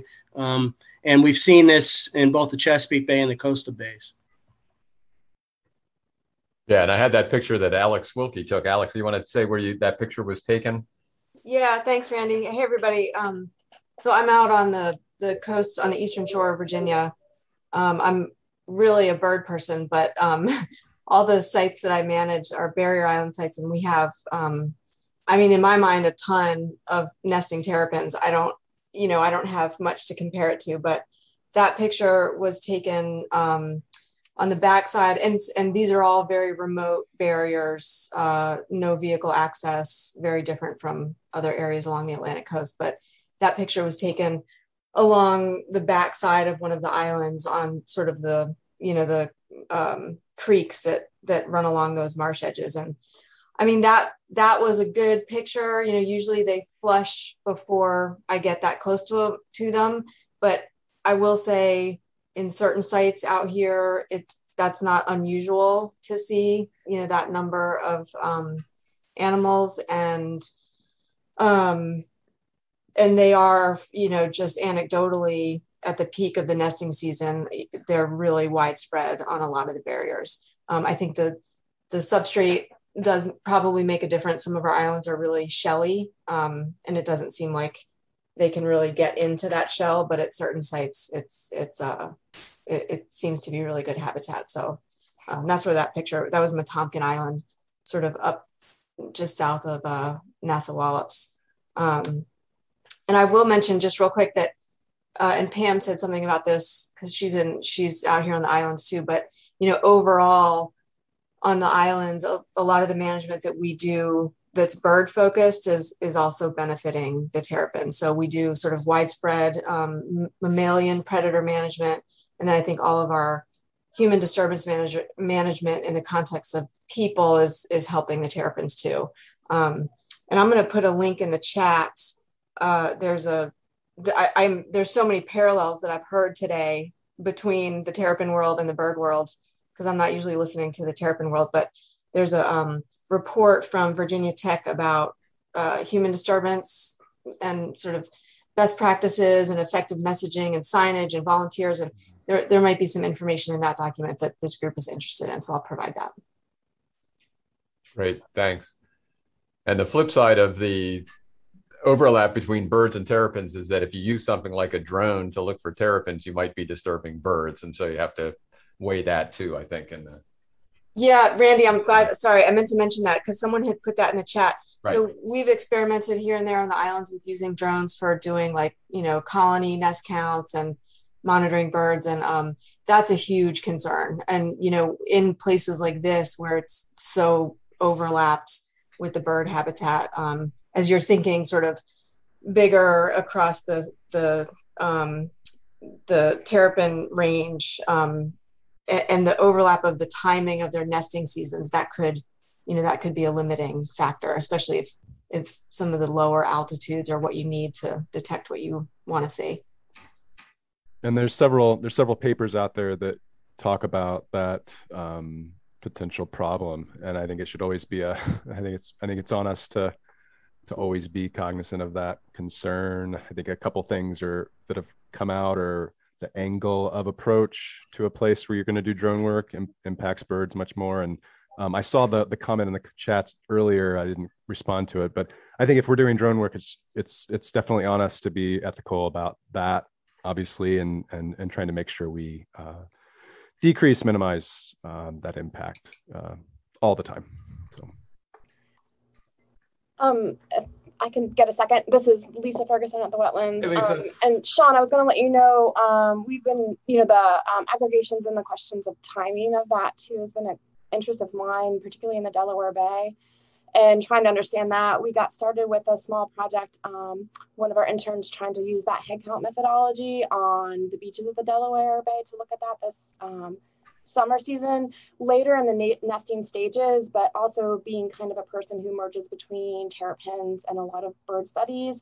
Um, I'm out there a lot um, for shorebird migration um, in the spring and then later in the season. And I can tell you it's it's thick with aggregations, um, breeding concentrations and aggregations um, all up and down the Delaware Bay. Um, but then also we were picking up on a lot of the aggregations as females were concentrating to come up to breed. So in that real um, near shore, shallow water, um, so seeing concentrations that continued um, through the nesting season and then moved closer to the creek the creek mouths um, as we got later past, like as the um, tail end of the nesting season. So you could kind of pick up just by doing those um, point counts, those changes in the habitat use along the, the nearshore waters. Um, I'm interested in doing that too, just to look at the overlap with the crab um, threat, the crab industry, and where we're seeing terrapin habitat use overlap with the number of crab traps that are out on the Delaware Bay. We have a significant number of drowned crab, uh, terrapins that are found on the Delaware Bay beaches. Um, we're picking those up through actually horseshoe crab um, volunteers um, that are helping us to identify and count and enumerate those. Um, we're using, the last few years, I've been using individual characteristics of the um, the shells, kind of getting to that aspect of it too, to identify individuals and use that as a mark recapture method um, to kind of slate those out and have a better understanding of how many um, terrapins we're using, uh, losing. But, uh, but all of that, you know, really needs to be um, founded in how, uh, what are estimates of the population, basically distribution in the Delaware Bay. So I'm real interested in applying and, and talking to you about your experience up in, I think, uh, Wellfleet Bay, Cape Cod Bay, and, um, and some of that overlap with Delaware Bay. Big need there. Yeah, I'll, I'll just say real quick that most of my experiences are very tangential to a student I worked with, uh, Patty Levasseur, who's mm-hmm. uh, now a, now a PhD student at the University of Massachusetts. She did she's still doing a lot of work out there, so I I overlapped with her, served on her served on her committee, um, things like that. But the contact person would definitely be Patty. She's very knowledgeable about that. One thing I will say, and thank you, Lisa and Alex, for that feedback. Um, Scott mentioned something earlier about um, protected the protection of the like the where kind of an ecological question about where you find these aggregations and that's what patty's found as well in cape cod and especially in wellfleet bay it's very protected coves that are um, you know protected from wind um, uh, kind of everything else so so it's i think i'm curious about if we're finding these aggregations in particular places across the landscape or if uh, if they're more widespread. Um, but yeah, thanks everybody for your feedback on this. Yeah, I really think from a conservation standpoint, those aggregation areas are critical, um, and I think they need to be identified. Mm-hmm. Yeah, we'd have to start defining what an aggregation is, and um, yeah, we could. I think that's. I think that's something. I I agree completely. I think those are those are good spots. The, the turtles are picking them for a particular reason. And uh, so protection, um, nesting opportunities, for whatever reason, they're, they're coming together in those spots. Yeah, there are hot spots for terrapin conservation. I think there are also hot spot or cold spots for terrapin restoration that, that are areas that had, you know, have all the habitat requirements for a terrapin, but they're not there because there are 100,000 crab pots out in the water or something like that. So uh, I'd really like to see sometime in our lifetimes, well, mine's shorter than many of you, uh, uh, actually see some place where terrapin conservation efforts have been put in and the population is restored itself somehow. So that, that would be a neat thing. I, I have a question about um, bycatch. Is anyone working on bycatch other than crab pots? Are, are you thinking about uh, fyke nets and things? Yeah. Yeah. I think there would be a, an overlap with anyone that's also researching birds because fyke nets are, uh, well, they're fished differently than I think a lot of people realize. Um, they're fished at a much deeper level in, in the Chesapeake, and they're usually for white perch harvesting. So if there's anyone that's looking for a project, I think that would be very interesting. Yeah, I don't know anyone that's that's. I've seen some of the depressing pictures of turtles being trapped in fyke nets, but I have not seen any research done on that. Right. Just, yeah. abandoned traps. That's all I've seen. right. Well, I think that's that could be a, a a big source of mortality that we're overlooking, and I think that the the photographs. I I don't know what photographs you're talking about, but we had posted some from 2006, I think, and that was at the mouth of the Chester River in, in the Chesapeake. Um, so, and, and they're usually set in nine feet of water, eight, nine feet of water. Mm-hmm. And those nets were became visible because they were so full of dead um, bloated turtles. Yeah. So yeah. it's very unfortunate. I, I'm just surprised it's it's a it's a gear that most researchers use but I don't, I can't find any bycatch information on it. And if someone is researching birds in a tidewater area, I think the two would it would definitely be worthy of uh, some backing from terrapin enthusiasts as well as bird people. Um, and I've I've since requested um, just depredation photographs of between birds and terrapins, birds with turtles, that sort of thing, because there is just such a strong connection there. Yep. So if anyone would be interested in pursuing that, I, I'd like to help you get some funding on that. I think, the challenge with the uh, with the fyke net is that it's very specific. You know, where the crab pot recreational crab pots are, you know, I, I would say easy, easily accessible. People fish them all the time. Fyke nets, because they're regulated and they're so specific and are usually, you know, a licensed entity that does that. And, and there's a lot of, uh, you know, complications when it comes to, to, to checking, you know, what, whatever's captured or whatever. If they're, if they're a marine debris item, that's a whole other story um, you know, but I'm I'm looking at it from like a you know Barnegat Bay, New Jersey standpoint, where you know maybe that fishery isn't as you know prevalent as you know some other you know methods that they're using out there. Right. Yeah. Well, it it that yeah, it, it's going to change from state to state, but in Maryland, you I think we do have it identified per gear, and a lot there is a lot of uh, fyke net fishing in the in uh, the shallow tributaries based on the, the data, uh, the fisheries data. Right. So it could be one fyke net could wipe out 200 turtles. Right. Exactly. Mm-hmm. And there was an incident uh, on the New Jersey coast a couple years ago, several years ago, and a bunch of them washed up. Or no, maybe it was Long Island, but um, I had suggested that they pursue if there are any fyke nets in that area. And um, it's definitely a gear that they use in that area. Whether they were there, nobody knows. It. I, I have known of situations where they would get lost in the over the winter when they're fishing for white perch, for example, and they got iced out or whatever, and they weren't able to get it. And then in the spring they come back to get it, and um, that's when they would be discovered to be full with terrapins. And that was a technique for harvesting terrapins mm-hmm. as well. Right. All right. Well, we're at the uh, top of the hour, which is the witching hour for us. We all turn into weekend pumpkins uh, at noon. So, um, John, do you have any other closing comments you'd like to make? No, thanks to all the presenters and everybody for sharing today. Um, it was great to hear you know, uh, some of the not only research but conservation methods and updates from the state. So it's great to get together and, and talk. Gives me a lot more to think about. Thank you. Yeah.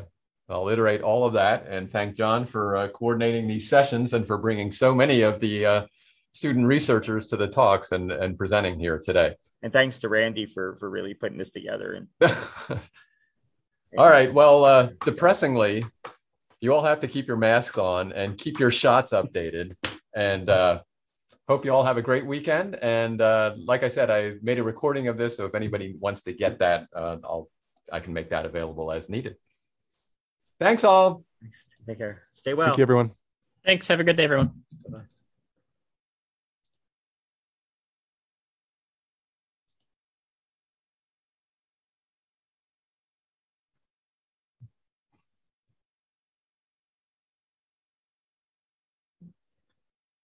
All right, John, that was great. I, I, think we had, I think at the at the peak we had something like 44 yeah attendees, which is great because I think we had 49 registered. So yeah, almost everybody. Yeah, I saw it was like almost near what, what you said you had in number. So nice, nice job, Randy. Yeah. Yeah. Everything went well. The talks were perfect, you know, in terms Yeah. of like the timing and everything. Yeah, all good. Yeah. Thane, thanks for uh, attending. All right. Thank you. All right. Stay well, everybody. Bye, Randy. All right. Bye-bye. Bye.